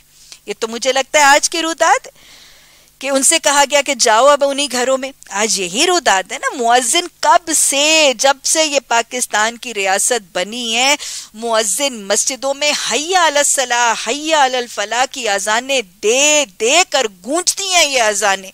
लेकिन सुस्तियाँ, कमियाँ, कोताहियाँ काहलियाँ जिद ढिटाई और बस औकात के तस्वुर के कोई ज़रूरत नहीं होती है। मस्जिद में जाने की, घर में भी मर्दों की नमाज़ होती है। ये मुल्ला जो है, ये तशद करते हैं। ये बहुत ज़्यादा फिनेटिक और सख्ती का मामला करते हैं। घर में नमाज़ बथेरी है, बस और क्या करने अब सारा दिन मस्जिद के चक्कर लगाते रहे। ऐसी जिद और ढिटाई और तकबर नबी सल्लल्लाहु अलैहि वसल्लम की तालीमात के बावजूद अल्लाह सुबहाना ताला के हुक्म से आज मस्जिदें बंद हो गई। आज मस्जिदें बंद हो गई। हम चाहे भी, हम ख्वाहिश भी रखें तो मस्जिदों में नहीं जा सकते। अल्लाह ने कहा रहो उस घर में। वो जिस घर की मोहब्बत, जिसके कंफर्टेबल लाउंज के सोफे पर बैठ के तुम अपने क्रिकेट मैच की वजह से मस्जिद में आना छोड़ देते थे ना, अब रहो उसी घर में। अब लॉकडाउन हो गए, अब घरों में बंद है। अब रहो इसी घर में। अब उन्हीं घरों में रहना काट रहा है, अब उन्हीं घरों में रहना हमें तंग कर रहा है और उसी घर में रहना हमें मुशक्कत तलब रख रहा है। जिस घर में रहने के शौक में और मोहब्बत में और सुस्ती में और आसाइश में अल्लाह के घर जाना हम तर्क कर देते थे। फिर उस वक़्त वो कहेंगे, हाय, हमारी कम बख्ती बेशक हम खतावार थे। अल्लाह हमें अपनी खता को समझने और अल्लाह सुबहाना ताला अल्लाह सुबहाना ताला रमज़ान की उन घड़ियों से पहले हमें हमारी मस्जिदों की मस्जिदों की अजतमाहीत को लौटा दे। मेरी बस्ती को, मेरी मुमलिकत खुदादात को, उम्मत मुस्लिमा को अल्लाह सुबहाना ताला रमज़ानमबारक की इज्तमाही तरावी की इबादत से महरूम न करना। और वो यही पुकारते रहे, यहाँ तक कि हमने उनको खलियान कर दिया। अल्लाह, इस छोटे अजाब से पहले हमें पलट कर इस्तफार और इसलाह की इसलाह की तरफ़ लौटने वाला बना और अल्लाह हमें उस बड़े अजाब से बचा ले। हमने उनको खलियान कर दिया, ज़िंदगी का एक शरारा तक उनमें ना रहा। हमने इस आसमान और ज़मीन को जो कुछ भी इनमें है ना खेल के तौर पर नहीं बनाया। अगर हमने खिलौना बनाना होता ना और यही बस हमारा काम होता तो अपने पास से कर लेते। मगर हम तो बातिल पर हक की चोट लगाते हैं, जो इसका सर तोड़ देती और वो देखते देखते मिट जाते और तुम्हारे लिए तबाही है उन बातों की वजह से जो तुम बनाते हो। ज़मीन और आसमानों में जो मखलूक है, अल्लाह की है। जो फरिश्ते उसके पास है, ना वो अपने आप को बड़ा समझ के बंदगी से सरताबी करते हैं और ना ही सुस्ती और मलूल करते हैं। शब रोज़ उसकी तस्बी करते हैं, दम भी नहीं लेते। क्या उन लोगों के बनाए हुए अर्जी खुदा ऐसे हैं कि बेजान को जान बख्श के उठा खड़ा करें? अगर ज़मीनों और आसमान में अल्लाह के सिवा को दूसरे खुदा होते तो ज़मीनों आसमानों का निज़ाम बिगड़ जाता। बस पहा कि अल्लाह रब्बुल अर्श उन बातों से जो ये लोग बना रहे हैं। वो अपने कामों के लिए किसी के आगे जवाब दे नहीं, और वो सब उसके आगे जवाब दे हैं। क्या उसे छोड़कर उन्होंने दूसरे खुदा बना ली हैं? इनसे कहो, लाओ अपनी दलील। ये किताब भी मौजूद है, जिसमें मेरे दौर के लोगों के लिए नसीहत है, और वो किताबें भी मौजूद हैं, जिनमें मेरे से पहले लोगों के लिए नसीहत थी, मगर इनमें अक्सर लोग हकीकत से बेखबर हैं, इसलिए मुँह मोड़े हुए हैं। हमने तुम में से पहले जो भी रसूल भेजा, उसको यही वही की है कि इससे मुँह मोड़े उसको यही वही की है कि मेरे मेरे सिवा कोई खुदा नहीं, बस तुम लोग मेरी बंदगी करो। ये कहते हैं रहमान औलाद रखता है? कौन? उज़ैर इबनुल्ला ईसा इबनुल्ला फरिश्तों को अल्लाह की बेटियाँ। सुबहान अल्लाह, वो तो अल्लाह के बंदे हैं जिन्हें इज़्ज़त दी गई है। ये सारे के सारे अम्बिया और फरिश्ते उसके हजूर बढ़ के बोलते नहीं हैं, बस उसके हुक्म पर अमल करते हैं और जो कुछ उनके सामने है, वो भी जानते हैं और जो कुछ उनसे ओझल है, वो उससे भी बाखबर है। वो किसी की सिफारिश नहीं करते बजुज उसके जिसके हक में सिफारिश सुनने पर अल्लाह राज़ी हो और वो उसके खौफ से डरते रहते हैं। और जो कोई उनमें कह दे, अल्लाह के सिवा मैं भी खुदा हूँ तो हम ज़रूर हम उसे जहन्नुम की सज़ा देंगे। हमारे यहाँ जालमों का यही बदला है। क्या वो लोग जिन्होंने नबी की बात सल्लल्लाहु अलैहि वसल्लम की बात मानने से इनकार कर दिया है, गौर नहीं करते कि सब आसमान और ज़मीन बाहम मिले हुए थे, फिर हमने उन्हें जुदा कर दिया। ये साइंटिस्ट भी इस बात को रिकन्फर्म करते हैं कि कायनात ज़मीन की क्रिएशन के वक्त ये सब कुछ हुआ था। फिर हमने उन्हें जुदा कर दिया। और पानी से ज़िंदा चीज़ें पैदा की। क्या वो हमारी इस खल्लाकी को नहीं मानते? हमने ज़मीन में पहाड़ जमा दिए ताकि उन्हें लेकर ढलक ना जाए, कुशादा राहें बनाई। शायद के लोग अपना रास्ता मालूम करें, आसमान को महफूज छत बनाया, मगर ये है कि निशानियों की तरफ़ तवज्जो ही नहीं करते। वो अल्लाह ही है, जिसने रात और दिन बनाए, सूरज और चाँद को पैदा किया, सब एक एक फलक में तैर रहे हैं। और हमेश की तो हमने तुमसे पहले किसी इंसान के लिए रखी ही नहीं। अगर तुम मर गए तो क्या ये लोग हमेशा जीते रहेंगे? हर जानदार को मौत का मज़ा चखना है। अल्लाहुम्मा आइनी अला गमरातिल मौत व सकरातिल मौत और हम अच्छे और बुरे हालात में डाल के तुम सब की आजमाइश करेंगे। अल्लाह सुबहाना ताला हम पर हमारी ताकत से ज़्यादा बोझ ना डालना। आखिरकार तुम्हें हमारी ही तरफ़ पलटना है। ये मुनकरीन हक जब तुम्हें देखते हैं तो तुम्हारा मज़ाक बना लेते हैं। कहते हैं, क्या ये वो शख्स है जो तुम्हारे खुदाओं का ज़िक्र किया करता था और अपना हाल ये कि मुनकर के ज़िक्र से भी मुनकर है? इंसान जल्दबाज है। अभी मैं तुम्हें अपनी निशानियाँ दिखाई देता हूँ, जल्दी ना मचाओ। ये लोग कहते हैं, आखिर ये धमकी पूरी कब होगी अगर तुम सच्चे हो? काश इन काफरों को उस वक्त का कुछ इल्म होता, जबकि ना ये अपनी मुँह से आग बचा सकेंगे और ना पीठों से और ना ही इनको कहीं से मदद पहुंचेगी। अल्लाह अजिर ना मिनन्नार अल्लाह अजिर ना मिनन्नार अल्लाह अजिर ना मिनन्नार वो बला अचानक आएगी और उन्हें इस तरह यक लख दबोच लेगी कि ये ना उसको दफ़ा कर सकेंगे और ना ही उन्हें लम्हा भर मोहलत मिलेगी। मज़ाक तुमसे पहले रसूलों का उड़ाया जा चुका है, मगर उन मज़ाक उड़ाने वाले इस चीज़ के फेर में आकर रहे जिनका वो मज़ाक उड़ाते थे। इनसे कहो, कौन है जो रात को या दिन को तुम्हें रहमान से बचा सकता हो? मगर ये अपने रब की नसीहत से मुँह मोड़ रहे हैं। क्या ये कुछ ऐसे खुदा रखते हैं जो हमारे मुकाबले में उनकी हमायत करें? वो तो खुद ना अपनी मदद कर सकते हैं और ना ही हमारी ताइद उनको हासिल है। असल बात यह है कि इन लोगों को और इनके आबा व अजदाद को हम ज़िंदगी का सरो सामान दिए चले गए। यहाँ तक कि उनको दिन लग गए। मगर क्या उन्हें नज़र नहीं आता कि हम ज़मीन को मुख्तलिफ़ सिमतों से घटाते चले आ रहे हैं? फिर क्या ये गालिब आ जाएँगे? उनसे कह दो, मैं तो वही की बुनियाद पर तुम्हें मुतनबे कर रहा हूँ। मगर बहरे, पुकार को नहीं सुना करते। अगर मगर बहरे पुकार को नहीं सुना करते, जबकि उन्हें खबरदार कर दिया जाए। और अगर तेरे रब का अजाब जरा उन्हें छू जाए ना तो भी चीख उठते हैं। हाय, हमारी कमबख्ती, हम खतावार थे। कयामत के रोज हम ठीक ठीक तोलने वाले तराजू रख देंगे। फिर किसी शख्स पर जरा बराबर जुल्म नहीं होगा। जिसका राई के दाने के बराबर भी कुछ किया धरा होगा ना, वो हम सामने ले आएँगे। और हिसाब लेने के लिए हम काफ़ी हैं। अल्लाह महासिबना हिसाब यसीरा।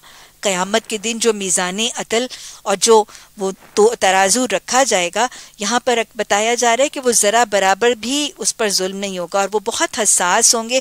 एक जगह हदीस में आता है कि वो राई के दाने के बराबर भी हसास होगा और आप सल्लल्लाहु अलैहि वसल्लम की एक हदीस में आता है कि वो जू के अंडे के बराबर भी फ़र्क को डिटेक्ट कर लेगा। याद रखिए, कोई नेकी छोटी समझ के आज के बाद छोड़नी नहीं है और कोई गुनाह छोटा समझ के आसानी से कर नहीं लेना। पहले हम मूसा और हारून को फुरकान और रोशनी और ज़िक्र अता कर चुके हैं। उन मुत्तकी लोगों की भलाई के लिए जो बेदेखे अपने रब से डरते हैं और जिनको खिसाब की उस घड़ी का खटका लगा है। और अब ये बाबरकत ज़िक्र हमने तुम्हारे लिए नाजिल किया है। फिर क्या तुम इसको कबूल करने का इनकार करते हो? उससे पहले हमने इब्राहिम को दानिशमंदी और होश बख्शी। हम उसको खूब जानने वाले हैं। याद करो वो मौका, जबकि उसने अपने बाप और अपनी कौम से कहा था, ये मूर्तें कैसी हैं जिनको तुम, जिनके तुम गर्विदा बने हो? उन्होंने जवाब दिया, हमने अपने बाप दादा को उनकी इबादत करते पाया था। उसने कहा, तुम भी गुमराह, तुम्हारे बाप दादा भी गुमराही में पड़े हैं। उन्होंने कहा, क्या तू हमारे सामने अपने असली ख्याल पेश करा या मज़ाक? उसने जवाब दिया, नहीं, बल्कि फिलवा के तुम्हारा रब वही है जो ज़मीनों, आसमानों का रब है और उनका पैदा करने वाला है। इस पर मैं तुम्हारे सामने गवाही देता हूँ और खुदा की कसम, मैं तुम्हारी गैर मौजूदगी में ज़रूर तुम्हारे बुतों की खबर लूँगा। हज़रत इब्राहिम सलाम का तस्करा आ रहा है कि वो आजमाए गए थे एक बुत परस्त माहौल और माशरे से। 2100 साल 2100 इयर्स बीसी इराक का इलाका उर की बस्ती एक बुत परस्त माहौल हर तरफ़ बुत ही बुत शुमास, देवता, ननार, देवता, सितारों के देवता। ये तो माशरा और बरादरी थी। घराना घराना तो बुत परस्तों का और बुत गरों का घराना था। हज़रत इब्राहिम सलाम के दादा भी बुत गर थे। उनके वालिद था बराहीम, पिदर और पिसर आजर हैं। हज़रत इब्राहिम के, का वालिद आजर बुत गर था। फॉर हज़रत इब्राहिम फैमिली बुत was like everything it was like everything हज़रत इब्राहिम सलाम के वालिद जो है, वो बहुत माहिर बुतगर था और हमें पता चलता है कि उसने बहुत ही एक सोने का और एक चांदी का एक जड़ाऊ बुत बनाया, जिसमें बड़े खूबसूरत मोती और जवाहरात लगाए और वो बादशाह नमरूद को पेश किया। और नमरूद बहुत खुश हुआ और उसकी महारत और फन देखकर नमरूद ने यह दरख्वास्त की कि क्या करो कि मेरे लिए भी बुत बना दो। तुम ऐसे करो कि मेरा बुत बना दो। अब जब उनका उसका बुत नमरूद का बुत हज़रत मूसा सलाम के वालिद ने नमरूद का बुत बनाया तो वो बहुत खुश हुआ और नमरूद ने आजर को अपना चीफ दरबारी बुतगर बना लिया। अब जरा सोचें, हज़रत इब्राहिम सलाम के घर वालों के लिए बुत मोहब्बत भी थी, अकीदत भी थी, उनकी इबादत का महवर और मरकज भी थे, उनकी हाजत रवाई का ज़रिया और सोर्स भी थे, उनकी ख्वाहिशात का महवर और मरकज भी थे, वो उनका फन था, उनके हुनर था, उनका पेशा था, उनका ज़रिया माश था, उनका source of source of life और अर्निंग था। गोया बुत was like their life line बुत was their life line for his family इस माहौल में आँखें खोलकर जब उन्होंने सूरज चाँद, सितारों को रुदाद आएगी देखा तो उन्होंने तोहीद को पहचान लिया। अल्लाह ने उस मुश्काना माहौल से आजमाया था।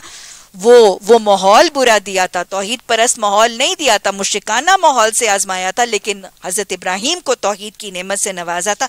ये आजमाइश थी उनके लिए। इस तोहीद की नेमत मिलने के बाद उन्होंने क्या किया? आज बहुत से माशरे में लोग ये कहते हैं कि अच्छा हम इबादत और बंदगी अल्लाह की कर लेते हैं, नमाज़ भी पढ़ लेते हैं, रोज़ा भी रख लेते हैं, जक़ात भी दे लेते हैं, हज भी कर लेते हैं, लेकिन क्या हम अपने कारोबार में बेईमानी, धोखा, फ्रॉड कर लेते हैं? हज़रत Ibrahim could very much anybody in his position could very much said कि अच्छा मैं बंदगी अल्लाह की कर लेता हूँ तस्बी नमाज़, रोजा, सब कुछ अल्लाह के लिए करता हूँ, लेकिन बुत मेरा कारोबार है, मेरा बिज़नेस है, ये मैं बना बना के बेचता हूँ, लेकिन नहीं। अगरचे बुत है जमात की आस्तीनों में, मुझे है हुक्म अजान, ला इलाहा इल्लल्लाह, ये है उसे आजमाइश पर इनका तरीका। इन बुतों की मोहब्बत और इस तोहीद को मिलने के बाद इस आजमाइश में हज़रत इब्राहिम का तरीका था कि उन बुतों से कट के अलग हो गए। अपना घर, बार, जायदाद, कारोबार, धंधा, पेशा प्रोफेशन फन हुनर हकूमत ओदा माँ, बाप, मोहब्बतें, बस्ती सब छोड़ दी थी। ये है आजमाइश में कामयाबी। ये है वो तरीका जो रब सबर का और इस्तकामत का सिखा रहा है। मुझे और आपको आजमाइशों में और फिर सब कुछ तोड़ने के छोड़ने के बाद फिर बुतों को पाश पाश किया। कैसे किया? आप पढ़े। उन्होंने कहा कि मैं तो इनकी, तुम्हारी गैर मौजूदगी में कौम गई हुई थी ना अपने मेले पे तो पीछे से घुस गए। उसने उनको टुकड़े टुकड़े कर दिया और सिर्फ़ उनके बड़े बुत को, हुबल का बुत जो है ना, उसको छोड़ दिया और हथौड़ा उसके कंधे पे रख दिया। शायद है कि वो उसकी तरफ़ रजू करें। उन्होंने आकर बुतों का हाल देखा तो कहने लगे, हमारे खुदाओं का ये हाल किसने कर दिया? बड़ा ही कोई जालिम है। कैसे खुदा है कोई कि उनका कोई हाल करे? लेकिन ये अक्ल मारी जाती है ना मुश्किकों की। बाज लोग बोले, हमने एक नौजवान को इनका ज़िक्र करते हुए सुना है जिसका नाम इब्राहिम है। उन्होंने कहा तो पकड़ लाओ उसे सबके सामने ताकि लोग देख लें कि अब उसकी कैसी खबर ली जाती है। इब्राहिम सलाम के आने पर उन्होंने पूछा, क्यों? इब्राहिम, तूने हमारे खुदाओं के साथ ये हरकत की थी। उसने जवाब दिया, बल्कि ये तो उनके सरदार ने की है। उससे पूछ लो ना अगर ये बोलते हैं। ये सुनकर वो अपने जमीर की तरफ़ पलटे और दिलों में कहने लगे, वाकई तुम तो जालिम हो। बात समझ आ गई थी, मगर फिर उनकी मत पलट गई। अरे शिरक ऐसी ही बात है। सरों पे, कानों पे डांट और मुहरे लगा देता है। फिर उनकी मत पलट गई और बोले, तू जानता है, ये बोलते नहीं अरे बोलते नहीं है, सुनते नहीं है, अपने आप को बचा नहीं सकते तो ये कैसे खुदा है? ये शिरक और बुत परस्ती है, ये ऐसे मोहरे लगाता है। इब्राहिम कहने लगा, फिर तुम अल्लाह को छोड़कर उन चीज़ों को पूछ रहे हो जो ना तुम्हें नफा पहुँचाने पर कादिर है, ना नुकसान तुफ है तुम पर और उन मबूदों पर जिनकी तुम अल्लाह को छोड़कर पूजा कर रहे हो, क्या तुम अकल नहीं रखते? अब जब कोई ज़ोर नहीं बना तो फिर कोई जवाब, कोई लॉजिक कोई दलील नहीं बनी तो फिर ज़ोर लगाने लगे। उन्होंने कहा, जला दो इसे। हमायत करो अपने खुदाओं की। अल्लाह अकबर, तुम्हारे खुदा कैसे हैं जिनको तुम्हारी हमायत और हिफाजत की ज़रूरत है? हमायत करो अपने खुदाओं की, अगर तुम्हें कुछ करना है। हमने कहा, क्या कहा? कुलना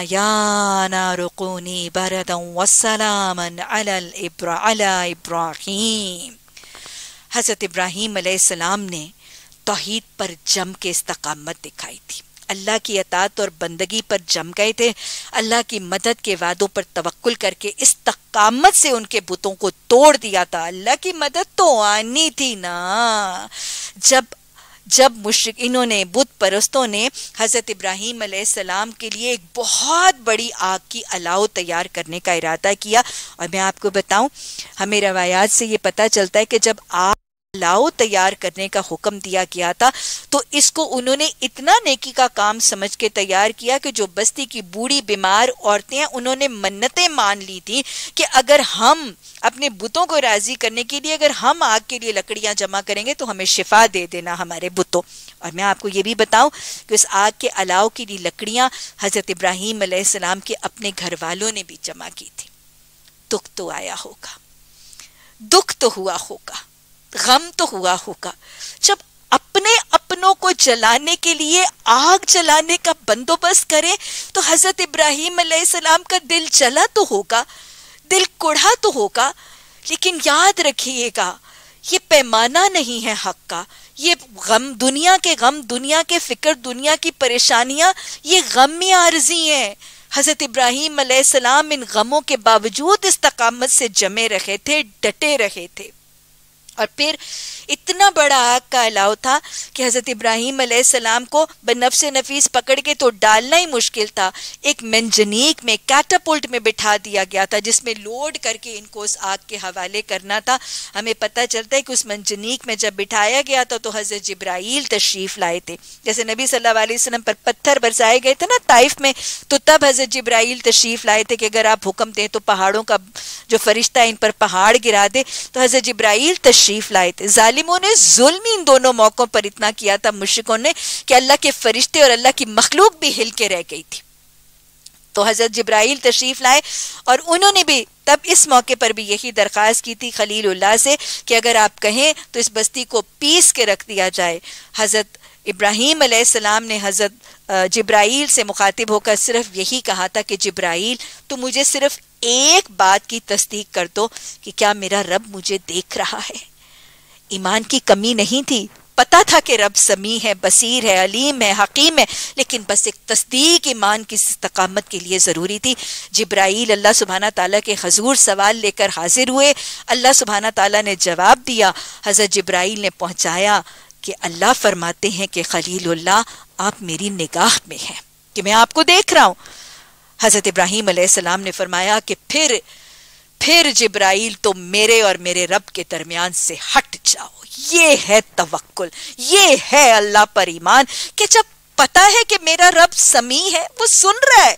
वो देख रहा है बसीर के मेरे साथ क्या हो रहा है। और वो हकीम इसके बावजूद भी अगर ये होने देगा ना तो इसमें उसकी कोई हिकमत है। तवक्कुल करके बेखतर कूद पड़ा आतिश नमरूद में इश्क। हज़रत इब्राहिम सलाम अब राज़ी बरजा हसबी अल्लाह, हसबुन अल्लाह नेमल माउला व नेमल वकील। जब ऐसा तवक्कुल हो, जब ऐसा सबर हो, जब ऐसी इस्तकामत हो तो इन साबरीन अल्लाह मदद करता है साबरों की और वो अपनी शान से करता है। कभी हवाओं से, कभी पहाड़ों से, कभी समुद्रों से, कभी दरख्तों से, कभी मट्टी से। अल्लाह ने कहा, आग ठंडी हो जाओ सुपर नेचुरल तरीकों से मेरा रब मदद करता है। गैर कुदरती तरीकों से अल्लाह ने मदद की। कभी आग ठंडी हुई हो जाएगी अल्लाह के साबरों के लिए। ठंडी हो गई आग।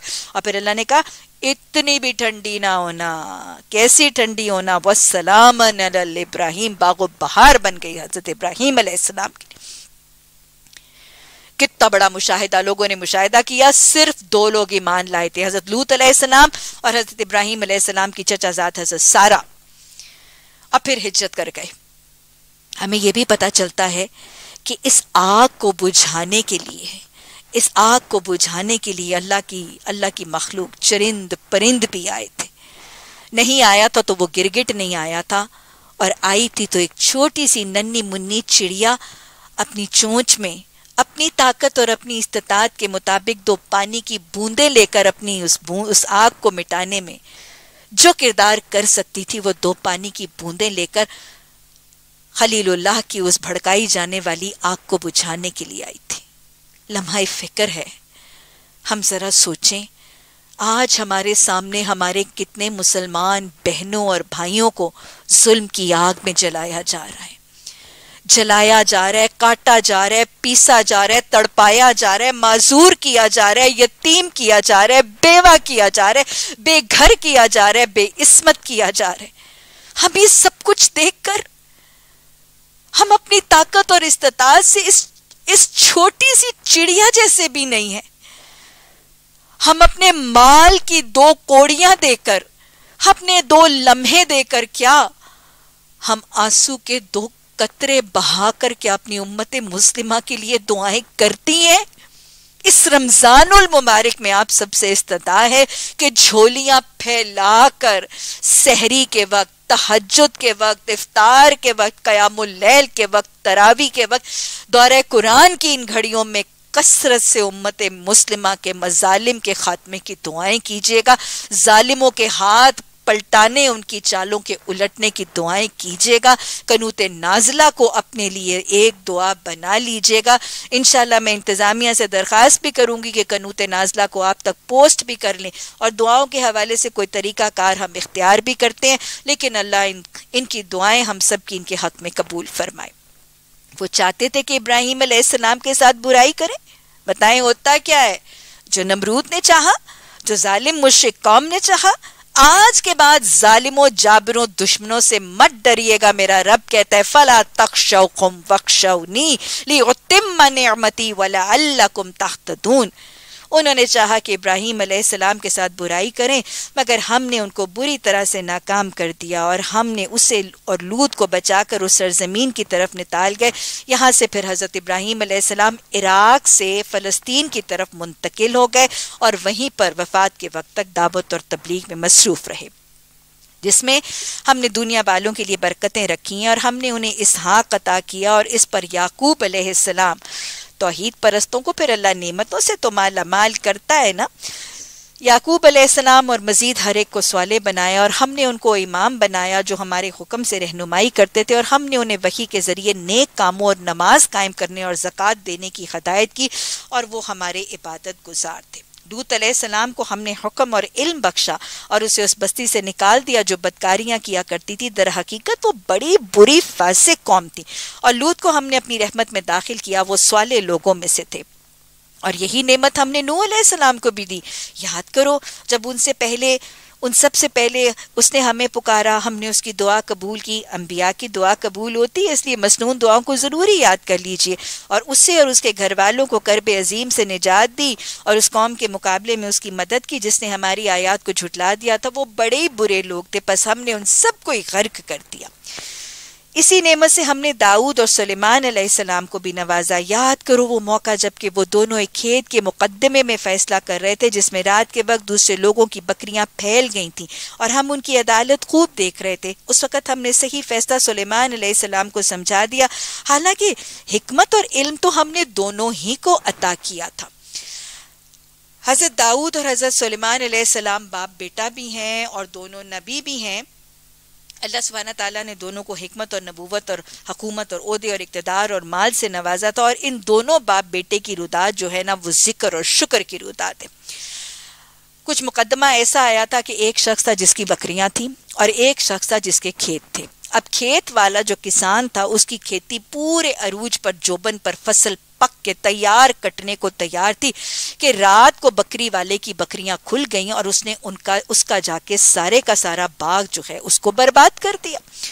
अब मुकदमा जो है वो हज़रत दाऊद सलाम के पास आया और हज़रत दाऊद सलाम ने अल्लाह के दिए हुए इल्म और अदल की हिकमत के साथ फैसला ये किया कि बकरी वाले की बकरियाँ, जिसकी बकरी ने उनके खेतों को बर्बाद किया था, बकरी वाले की बकरियाँ लेकर खेत वाले को दे दी। अब ये लोग कुछ जरा मुतमिन नहीं थे, मुकदमा फिर हज़रत सुलेमान सलाम के पास आया। याद रखिएगा कभी कभी इल्म में, फन में, हिकमत में औलादें या शागिर्द अपने उस्तादों और अपने वालदेन से आगे निकल जाते हैं। और याद रखिएगा, उस्ताद का और वालिद का, ये वो रिश्ता है जो इंतहाई बेलौस रिश्ता है। जब किसी वालदेन के बच्चे उनसे आगे निकल जाएँ, किसी माँ को जब कोई ये कहे कि तुम्हारी बेटी तुमसे ज़्यादा सुघड़ है तुम्हारी बेटी तुमसे ज़्यादा समझदार और सियानी है तो माँ फूल के बाग बाग हो जाती शायद किसी बहन के आगे निकलने किसी भाभी या सहेली के आगे निकलने को हम इतना बर्दाश्त नहीं कर सकते और कभी कभी हसद की एक रमक आ जाती है लेकिन जब कोई शागिर्द और ख़ास तौर पे दीन के रास्ते में चलने वाला शागिर्द और औलाद। उस्ताद और माँ बाप से आगे निकलता है तो उसको उसकी खुशी और राहत और ठंडक ज़रूर महसूस होती है। अल्लाह सुबहाना ताला हमें अपने वालदेन और उस्तादों के लिए और हमारी औलाद और शागिर्दों को हमारे लिए सदका जारिया और आँखों की ठंडक भी बना और उनको इल्म, फहम, फ़न, फरासत और दावत में हमसे बहुत आगे निकलने वाला खुश नसीब बना के हमारी निजात और हमारी बख्शिश का ज़रिया भी बना। अब हज़रत सलेमान हिकमत से मामूर उन्होंने जो पैगाम दिया, वो उससे ज़्यादा आदिलाना था। उन्होंने क्या किया? उन्होंने ये फैसला किया कि बकरी वाले की बकरियाँ खेत वाले के पास उतनी देर रहेंगी, जितनी देर बकरी वाला उसकी खेत पर मेहनत मुशक्कत करके उसकी फ़सल को उसी हालत में वापस लौटा देगा, जिसमें वो खराब की गई थी। ये ज़्यादा आदिलाना था और ये तस्लीम कर लिया गया। अल्लाह हमें भी ज़िंदगी में अदल करने और अदल की हिकमतें सीखने और समझाने की तोफ़ी अता फरमाए। दाऊद अलैहिस्सलाम के साथ हमने पहाड़ों और परिंदों को मुसखर किया। असल में ना ये बाप बेटा जो है ना, इनकी रुदाद शुक्र की रुदाद है। अल्लाह ने इनको बहुत सी नेमतों से नवाजा और माला माल किया था। और वो जो कायदा हमने उस दिन पढ़ा था ना लाइन शकर तुम ला अजीदन्ना कुम वो पूरे का पूरा ना इन बाप बेटे की ज़िंदगी में नज़र आता है। अल्लाह ने नेमतें दी, इन्होंने नेमतों का शुक्र किया और अमली शुक्र किया कि उन नेमतों को अल्लाह की रज़ा और अल्लाह के बंदों के लिए जब खर्च करते थे तो अल्लाह उनको मज़ीद नवाजता था। हज़रत दाऊद अलैहिस्सलाम की जो ये रुदात है, वो क्या थी? कि अल्लाह सुबहाना ताला ने ना हज़रत दाऊद अलैहिस्सलाम को खुश इल्हानी यानी खूबसूरत आवाज़ दी थी। तो इस खूबसूरत आवाज़ से वो क्या करते थे? शुक्र का तरीका था ना कि जिस रब ने खूबसूरत आवाज़ दी है ना, उस आवाज़ को उस रब की तस्बी के लिए हम दो सना के लिए, उसकी चर्चों के लिए, उसकी दावत के लिए इस्तेमाल करते थे और उसकी हम दो सना करते फिरते थे। अल्लाह को ये शुक्र की अदा इतनी पसंद आई कि ला अजीदन्ना कुम की जो सुन्नत इलाही है उसके हवाले से अल्लाह सुबहाना ताला ने हज़रत दाऊद सलाम को वह आतई ना दाऊद ज़बूरा, उनको ज़बूर से नवाज़ दिया। अब ज़बूर क्या थी? इसमें बुनियादी तौर पर अल्लाह के अहकाम नहीं थे, अवामिर और नई नहीं थे, ये हमदिया मंजूम तरानों पर मुश्तमिल थी। इसमें अल्लाह सुबहाना तला की हमदो सना के कुछ तराने थे। अब जब ये नेमत मिल गई तो फिर तो हज़रत दाऊद सलाम हद से बढ़ गए और अब हर वक्त जबूर को अपनी जबान पर जारी रखते। अल्लाह सुबहाना ताला को शाकिर की ये अदा और भाग गई। और फिर जब वो हमद करते थे तो अल्लाह ने परिंदों को और पहाड़ों को ये हुक्म दे दिया कि दाऊद सलाम के साथ हम नवा होकर उनके साथ मिलकर तस्वीर करें। क्या खूबसूरत मंजर होता होगा ना? खुला डेजर्ट और पहाड़ और नखलिस्तान और गुलिस्तान और उनमें फजर के बाद हज़रत दाऊद सलाम अल्लाह की हमदो सना और ज़बूर की आयात और वहाँ पर सात परिंदे और पहाड़ जो हैं वो गूंज रहे होंगे। अल्लाह जालनी सबूर व जालनी शकूरा। अल्लाह ने फरमाया कि हमने परिंदों को मुसखर कर दिया, जो तस्बी करते थे। इस फेल के करने वाले हम थे और हमने तुमको फ़ायदे के लिए ज़रा बनाने की सनत दी ताकि तुम एक दूसरे की मार से बचाएँ। फिर क्या तुम शुक्रगुजार होगे? अल्लाह जालनी सबूरम व जालनी शकूरा। और सलेमान सलाम के लिए हमने तेज़ हवा को मुसखर कर दिया था, जो उसके हुक्म से और ज़मीन की तरफ़ चलती थी, जिसे हमने बरकतें अता फरमाई हैं। और हम हर चीज़ का इल्म रखने वाले थे शयातीन से शैतानों में से हमने बहुत सौ को उसका ताबे कर दिया था जो उसके लिए गोते लगाते थे और उसके सिवा दूसरों का काम करते थे, उन सब के निगरान हम ही थे। और यही होशमंदी, हिकमत और इल्म की नेमत हमने अयूब सलाम को दी थी जब उन्होंने क्या पुकारा था? इजनादा रब्बाहू। आयत नंबर 83 हज़रत अयूब सलाम की दुआ है, बीमारी में शिफा मिली थी, इस दुआ को हर बीमारी के लिए अपनी नमाज़ में पढ़ लीजिए नमाज़ के अदर। रब्बी अन्नी मस्सानिया जुर्रु व अंत अरहमुर्राहिमीन अल्लाह ने क्या किया अल्लाह सुबहाना ताला ने जब उन्होंने दुआ की कि अल्लाह मुझे बीमारी लग गई है और तू अरहमुर्राहिमीन है तो हमने उसकी दुआ कबील कबूल की और जो तकलीफ़ उसे थी उसको दूर कर दिया और उसके अहले खाना ही नहीं दिए बल्कि उसके साथ इतने और भी अपनी खास रहमत के तौर पर और इसमें एक सबर है सबक है इबादत गुजारों के लिए हज़रत अयूब सलाम की रुदाद सबर की रुदाद है। हज़रत अयूब सलाम को जैसे हम देखते हैं ना कि हज़रत इब्राहिम को एक चीज़ दी और एक चीज़ नहीं दी। हज़रत दाऊद और हज़रत सुलेमान को नेमतों से माला माल करके आजमाया। हज़रत दाऊद की आजमाइश डबल थी। दिए गए थे, फिर लिए गए थे और फिर दिए गए थे। तो ये आजमाइश हज़रत अयूब सलाम की थी। हदीस से हमें पता चलता है कि आप सल्लल्लाहु अलैहि वसल्लम ने हज़रत अदी बिन हातिम रज़ी अल्लाह तन की रवायत से हदीस आती है कि जब हज़रत अयूब सलाम की आजमाइश शुरू हुई तो वो नेमतों से माला माल थे। अहले मशरक में, पीपल ऑफ़ द ईस्ट में, हज़रत अयूब सलाम से ज़्यादा नेमतों वाला मालदार शख्स कोई नहीं था। जवान थे, ताकतवर थे सेहत थी और बहुत कसरत से माल दिया। पीपल ऑफ़ द ईस्ट में सबसे ज़्यादा मालदार शख्स हज़रत अयूब तारीख में इनका तस्करा मौजूद। इनके माल के ज़रिए ये थे कि इनकी खेती बाड़ी और इनका एग्रीकल्चर और ज़रात बहुत था और इससे बहुत माल कमाते थे। इनका बहुत बेहतरीन तिजारत और इनका फ़िक्र माश और तिजारत बहुत बढ़ती और फलती फूलती थी। और फिर उसके बाद अगर हम देखें तो बहुत से मवेशी थे जो इनका बहुत बड़ा ज़रिया माश थे। कसीर अहल खाना थे। बहुत से बच्चे और औलाद थी। तो गोया अल्लाह ने सभी नेमतें दी थी। लेकिन इतनी कसरत नेमत में भी वो जो कहते हैं ना, ऐश में याद खुदा नहीं भूला था और तैश में खौफ खुदा नहीं भूला था, इतनी नेमतों की कसरत के बावजूद इन्हीं के अंदर होके, इन्हीं के अंदर बिज़ी होके इन्वॉल्व होके रह नहीं गए थे और ना ही मस्त होके गाफिल हो गए थे, कसरत से इबादत करते थे। कसरत से इबादत करते थे और फिर हज़रत अयूब सलाम को भी आजमाने के लिए और साथ ही बस्ती के लोगों के दिलों में शैतान ने एक वसवसा और फितना सा डाला था और वो ये कहते थे कि हज़रत अयूब सलाम के पास तो इतनी नेमतें हैं और इतना माल है और वो फ़िक्र माश के धंधों और परेशानियों से इतने आज़ाद हैं तो इसीलिए वो इबादत करते हैं। मतलब कौम के लोग ये कहते थे और बस्ती और बरादरी के लोग ये कहते थे कि इनके पास तो इतना माल है that he has all the time in the world इनको तो फ़िक्र माश के और गमे रोज़गार के कोई फ़िक्र ही नहीं है। तो इसलिए अगर ये इबादत करें तो फिर तो वो तो कर ही सकते हैं, हम फ़िक्र माश की वजह से नहीं कर सकते। तो उनको भी गलत साबित करने के लिए और हज़रत अयूब सलाम को भी आजमाने के लिए फिर उनकी आजमाइश का दूसरा सिलसिला जो शुरू हुआ कि इनकी नेमतें जो हैं, वो पै दर पै एक के बाद दूसरी छिनती चली गई। हमें पता चलता है कि उनकी सारी खेती बाड़ी, उनके खेत जो हैं, वो सब खराब हो गए, बर्बाद हो गए। फिर उनके कारोबार और उनके तजारत के अंदर जो है वो सारा नुकसान और खसारा और घाटा हो गया, मवेशी सारे खलाक हो गए, अहल खाना भी एक एक करके खलाक हो गए।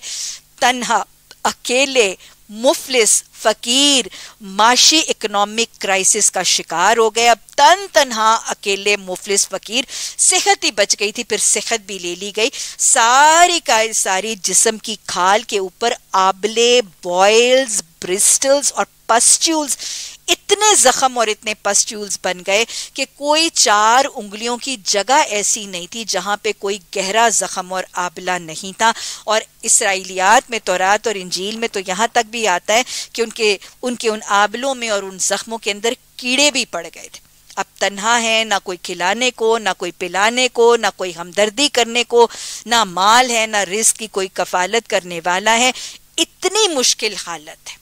इतनी मुश्किल हालत है। इसमें भी इबादत और सबर का तरीका जारी है। अदी बिन हातिम रज़ी अल्लाह तला की रवायत से अल्फाज हैं कि इस मौके पर हज़रत अयूब सलाम ने क्या फरमाया था?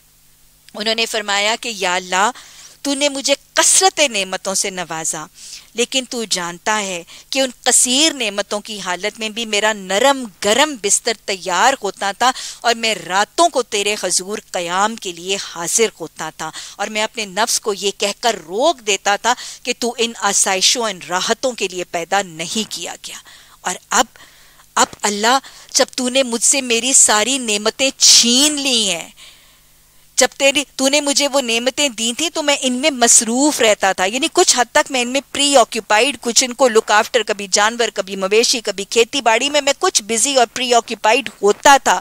लेकिन अल्लाह, जब तूने अब मुझसे मेरी सारी नेमतें ले ली हैं तो मेरा दिल तेरे लिए खाली हो गया मेरा दिल तेरे लिए खाली हो गया या अल्लाह, अब तेरे और मेरे दरमियान कुछ हायल नहीं। पहले तो मेरे खेत, मेरे मवेशी, मेरे कारोबार, मेरे अहले खाना थे ना, वो मेरा वक्त, मेरी सलाहियतें, मेरी तवज्जो ले जाते थे। और बहुत सा टाइम और वक्त उनमें खप जाता था। लेकिन अब I am deprived of all अब मेरे और तेरे दरमियान कुछ हायल नहीं। और फिर साथ क्या फरमाते हैं? अल्लाह, अगर तेरी इस रहमत को शैतान जान ले। कोया इस हालत को भी क्या कह रहे हैं? इस हालत को भी अल्लाह की रहमत कह रहे हैं। याद रखिएगा, शाकिर और साबिर रहने का ताल्लुक हमारी नेमतों की कसरत से नहीं है। It is an outlook to life it is the way we look at look towards life इस हालत में भी कह रहे हैं कि अल्लाह तेरी इस रहमत को अगर शैतान जान ले तो वो मुझसे बहुत हसद करेगा। इलाही, मुझ पर करम कर, मुझे उसके वसवसों से बचा ले। तो ये वो कितने प्यारे अल्फाज हैं कि उस डिप्राइव्ड हालत में भी अल्लाह के हजूर खड़े हो रहे हैं और समझ रहे हैं कि अब मैं फारिग हो गया हूँ अल्लाह के लिए। अब I have all the time in the world for इबादत और मुझे कोई चीज़ डाइवर्ट नहीं करती डिस्ट्रैक्ट नहीं करती डिस्टर्ब नहीं करती। ना अहल खाना, ना कारोबार, अब मैं और मेरा अल्लाह। ये आउटलुक है और ये सब्र अयूब है। और फिर उस मौके पर दुआ की कि अल्लाह मुझे तकलीफ़ ने छू लिया और ये दुआ भी इतनी प्यारी दुआ है इसमें ये नहीं कह रहे कि अल्लाह मैं भूखा हो गया हूँ, मैं मुफलिस हो गया हूँ, मैं फ़कीर हो गया हूँ, मैं तन्हा हो गया हूँ, मैं, मेरी, मेरा कारोबार ख़त्म हो गया है, मुझे खसारा हो गया मेरे मवेशी मर गए मुझे बीमारी आ गई है, मुझे बुखार सताता है, मुझे मुझे दवा नहीं मिलती, मेरे जिसम में आबले हैं, मेरे आबलों में कीड़े हैं, कोई शिकवा शिकायत नहीं है, कोई किसी किस्म की नाराज़गी नहीं है, कोई हालत जार बयान करना नहीं है, क्योंकि रब की पहचान है ना कि वो समी है, वो सुन रहा है। वो देख रहा है, बसीर, वो देख रहा है मेरी क्या हालत है, वो देख रहा है मेरी सिचुएशन को और उसके बावजूद अगर वो तकलीफ़ दे रहा है तो कोई ना कोई खैर है। All what is says is रबी अन्नी मस्सानी अजुरू अल्लाह बस मुझे तकलीफ़ ने छू लिया है ना। और तू तो सभी कुछ जानते मैं रुदाद में रोना क्या रो रबी अन्नी मस्सानी अजुरू अंतर खमुर राहिमीन बस तू बड़ा रहम करने वाला मुझ पर रहम कर दे। हकीम, जब तू जाएगा, तू रहम कर दे। कितना तवक्कुल है, कितनी कनात है, कितनी खूबसूरत है ये दुआ करने का तरीका और ये सब्र की हद। उस वक्त भी कोई शिकवा शिकायत नहीं, ये सब्र अयूब है। अल्लाह ने ये दुआ भी सुनी, अल्लाह को वो सबर भी पसंद आया। इन अल्लाबरीन कैसे हुआ? अल्लाह सुबहाना ताला ने हज़रत अयूब सलाम को हुक्म दिया कि आप अपनी एड़ी मारें और ज़मीन में से वो चश्मा फूटेगा। ये चश्मा कौन से ज़मीन के खत्ते पर था? क्योंकि मुझे हमेशा बाद में सवाल आते हैं, वो चश्मा किसका था, कहाँ था, अब है, अब नहीं है। हदीस में कोई रुदात मौजूद नहीं है। सो हमें इसकी कुरेद और टो में जाने की ज़रूरत नहीं है। और हमें पता है हॉट वाटर स्प्रिंग्स हैं सल्फ़र स्प्रिंग्स हैं, जो सेहत और स्किन की कितनी बीमारियों की शिफा का ज़रिया बनती हैं। It could be any one of those springs बस वो कोई शिफा का चश्मा फूटा, अल्लाह के मुआवजा हुआ, उससे गसल किया और खाल की सारी बीमारी जो है वो जाती रही और अल्लाह ने फिर अहल खाना भी लौटा दिए। अभी आपने पढ़ा, अल्लाह ने अहल खाना भी लौटाए, माल भी लौटाया, सारी नेमतें लौटाई और बुखारी की हदीस है ना कि अल्लाह ने लौटाई तो अपनी शान से लौटाई। अल्लाह देता है ना तो फिर छप्पड़ फाड़ के ही देता है। कितना प्यारा सा तरीका है वो बुखारी की हदीस कि हज़रत अयूब सलाम अपने सहन में गुसल कर रहे थे। तो एक बदली सी उनके सहन पर आई और वो बदली से ना सोने की टिड्डियाँ बरसने लगी। पूरी बस्ती पर नहीं है, हमसायों पर भी नहीं है, सिर्फ़ ये बारान रहमत सोने की टिड्डियों की बारिश जो है ना, वो हज़रत अयूब सलाम के सहन में होने लगी। और जब ये सोने की टिड्डियों को बरसते हुए देखा तो हज़रत अयूब सलाम उनको समेट के अपने दामन में इकट्ठा करने लगे। तो फिर आवाज़ आई, अयूब क्या भेरस आ गया? हाँ कि महरूमी के बाद अब सोने की टिंडियाँ, माली तंगी के बाद अब सोने की टिंडियाँ देखी हैं तो क्या हिरस और लालच आ गया कि सोना समझ के समेट रहे हो? तो हज़रत अयूब सलाम ने बड़ा प्यारा जवाब दिया, इलाही, तेरी रहमत को समेटने के लिए अपनी झोली भर रहा हूँ। कि बारिश क्या है? वो तो बाराने रहमत है। मैं सोने को नहीं समेट रहा हूँ। ये बरसती हुई बारिश तेरी रहमत है जो मेरी तरफ़ आ रही है। तो मैं तेरी रहमत को समेटने के लिए झोली भर रहा हूँ। अल्लाहुम्मा रहमतिका अर्जू फला तकिलनी इला नफ्सी मिन तरफता आइनिन व अस्लिह शअनी कुल्लहु ला इलाहा इल्ला अंता अल्लाह सुबहाना ताला हमें ये रुदातें पढ़ने हमारी ताकत से ज़्यादा तो हम पर बोझ ही ना डालना। लेकिन अल्लाह सुबहाना ताला जब तू हमें किसी तकलीफ़ से आजमाए तो ये रुदादें याद रखने, इनके पैगाम, इनके नमूने, इनके उसवा के नमूनों को अपना कर अपने पर्चे आजमाइशों के रब पसंद तरीके से ज़िक्र, शुक्र और सब्र और तवक्ल से हल करने की तोफ़ी अता फरमा। और यही नेमत इस्माइल और इदरीस और जिलकिफल को भी दी। ये सब साबिर थे और उनको हमने रहमत में दाखिल किया, वो स्वालहीन में से थे। और किसको? वजुन्नून मछली वाले को भी हमने नवाजा जब वो बिगड़ के चला गया। अब यहाँ पे देखिएगा कि हज़रत इनका, हज़रत यूनुस सलाम का वाक्य है। पिछले ज़िक्र, शुक्र और सबर के आते हैं और यहाँ पर जब एक नबी से बेसब्री का मामला बशरी तकाजों पर हुआ तो उसकी रुदात सुनाई गई। वहाँ पे रहमतें मिल रही हैं, यहाँ पर अल्लाह की तरफ़ से पकड़ आ गई। हज़रत यूनुस सलाम को कहीं जुन्नून, कहीं साहिबुल कूत कहीं यूनुस कहकर कुरान में पुकारा गया है। किस्सा सूरा यूनुस में भी आया है, सूरा अंबिया में भी आया है और सूरा सवाफात में भी आया है। इनका इलाका जो था, अगर हम देखें तो दजला का जो मशरकी किनारा है, वो नैनवा की बस्ती इनका इलाका था।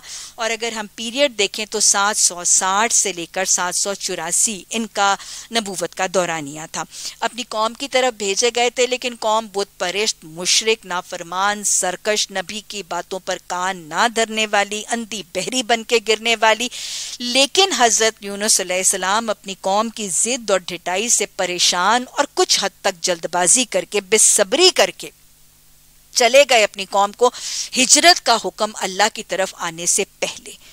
अल्लाह जल्दबाजी को भी पसंद नहीं करता अल्लाह बेसब्री को भी पसंद नहीं करता। और ये रुदाद मक्का के आखिरी दौर में इसलिए सुनाई जा रही है कि मोहम्मद सल्लल्लाहु अलैहि वसल्लम को सब्र और शुक्र का पैगाम दिया जाए और ये रुदाद सुनाकर इस बात की तरफ़ माइल किया जाए कि जब तक हुक्म खुदाबंदी नहीं आएगा, आप मक्का से हिजरत के लिए कदम नहीं निकालेंगे, चाहे कितनी तकलीफें क्यों ना आए।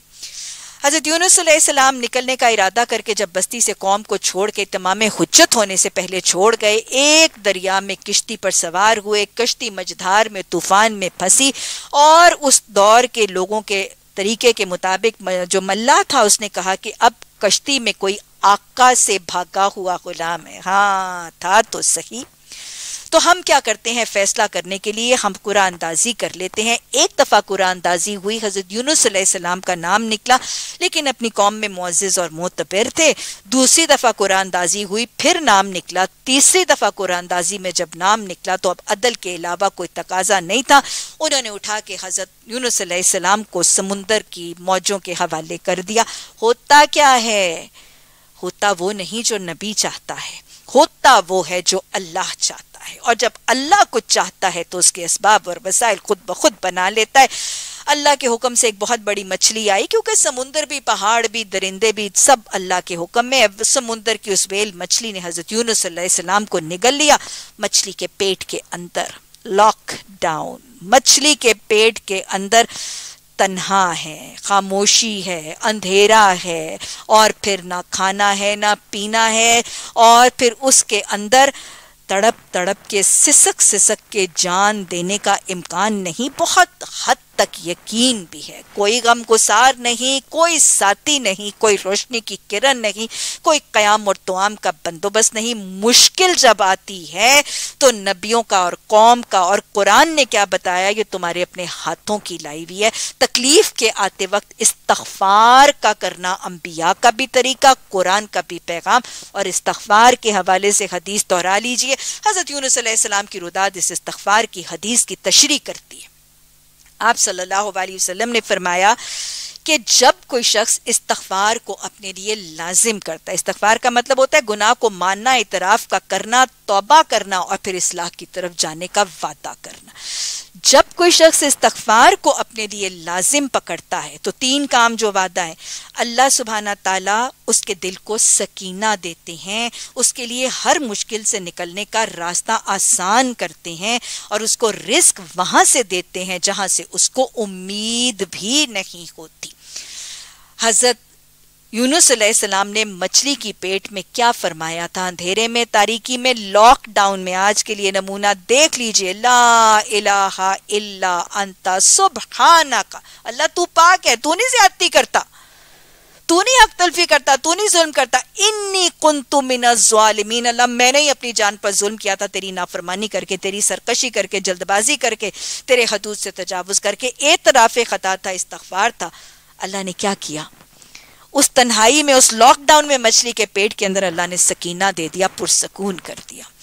अल्लाह ने मछली के पेट से निकलना it's like next to impossible it looks like next to impossible लेकिन अल्लाह ने इतनी बड़ी मुश्किल से निकलना आसान कर दिया।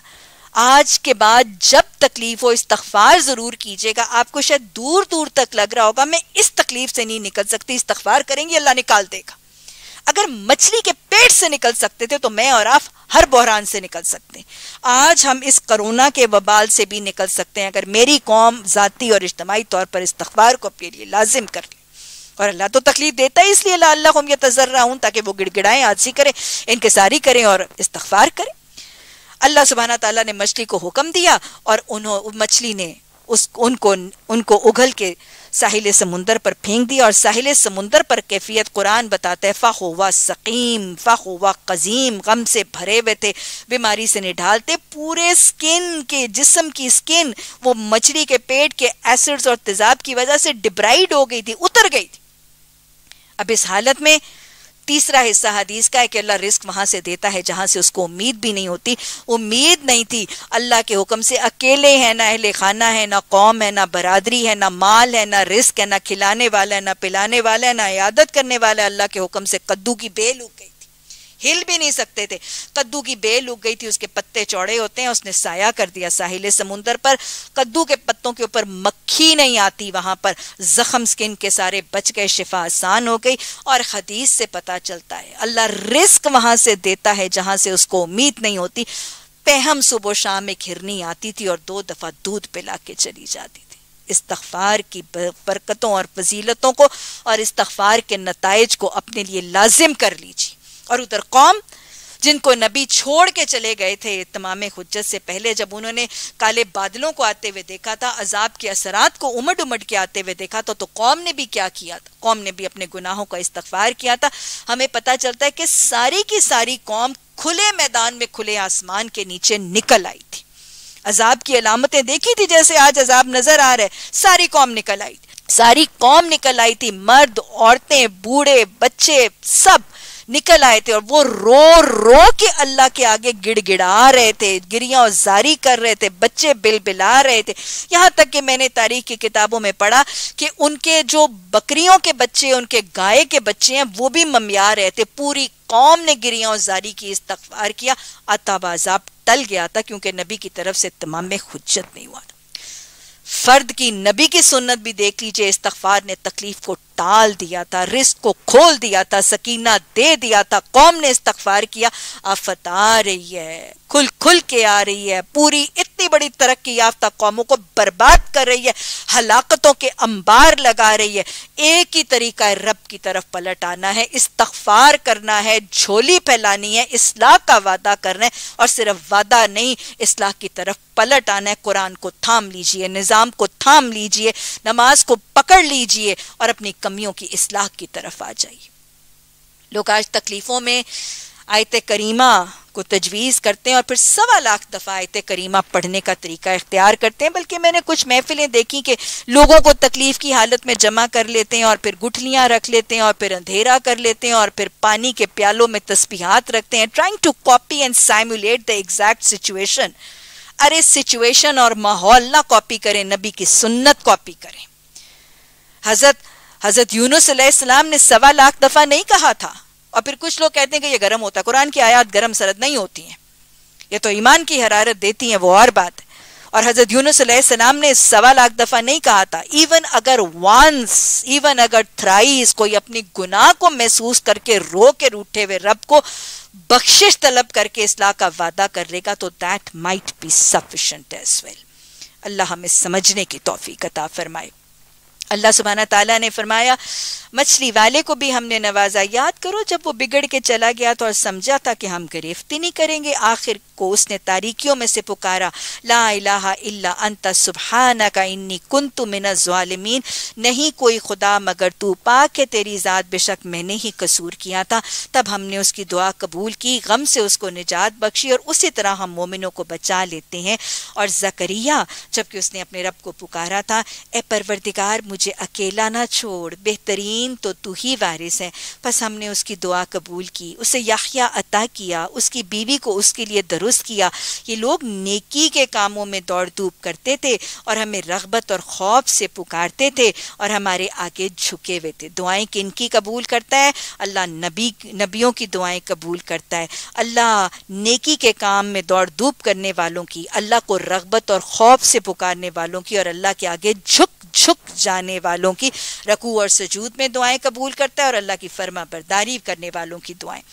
और वो खातून जिसने अपनी इसमत की हिफाजत की थी, हमने उसके अंदर अपनी रूह फूकी और उससे और उसके बेटे को दुनिया भर के लिए निशानी बना दिया। ये तुम्हारी उम्मत हकीकत में एक उम्मत है और मैं तुम्हारा रब हूँ, तुम मेरी इबादत करो। मगर ये लोगों की कारिस्तानी है कि उन्होंने आपस में अपने आप को अपने आप को दीन के टुकड़े कर दिया। सबको हमारी तरफ़ पलटना है। फिर जो नेक अमल करेगा, सिर्फ़ नेक अमल नहीं, इस हाल में कि वो मोमिन भी है। तो उसके काम की नकदरी नहीं होगी, उसे हम लिख देख रहे हैं। और मुमकिन नहीं है कि जिस बस्ती को हमने हलाक कर दिया, वो फिर पलट सके। यहाँ तक कि जब याजूज और माजूज, कल भी हमने रुदात पड़ी थी, खोल दिए जाएँगे। सुलकर नैन ने दीवार लगा के बंद कर दिया था, नकब लगा के अभी वो तोड़ नहीं सकते। जब अल्लाह का हुक्म होगा, तोड़ेंगे। फिर वो खोल दिए जाएँगे। हर बुलंदी से निकल पड़ेंगे। वादा बरहक के पूरे होने का वाक्य करीब आ लगेगा। तो यकरक उन लोगों के दीदे फटे के फटे रह जाएँगे, जिन्होंने कुफर किया। कयामत काफरों और बदतरीन लोगों पर बर्पा होगी। अल्लाह हमें उनमें ना बनाए। कहेंगे, हाय हमारी कम बख्ती हम इस चीज़ की तरफ़ से गफलत में थे, बल्कि हम तो खताकार थे। बेशक तुम और तुम्हारे माबूद, जिन्हें तुम पूछते हो, जहन्नुम का ईंधन है, वहाँ तुम्हें जाना है। अगर ये वाकई खुदा होते तो वहाँ ना जाते। इन सबको हमेशा इसी में रहना है। वहाँ फुनकारे मारेंगे, और हाल ये होगा कि उसमें कान पड़ी आवाज़ सुनाई नहीं देगी। रहे वो लोग जिनके लिए हमारी तरफ़ से भलाई का पहले फैसला हो चुका है तो वो यकीनन उस जहन्नुम से दूर रखे जाएँगे। उसकी तो सरसराहट भी नहीं सुनेंगे और वो हमेशा हमेशा अपनी मन भाती चीज़ें किन के लिए?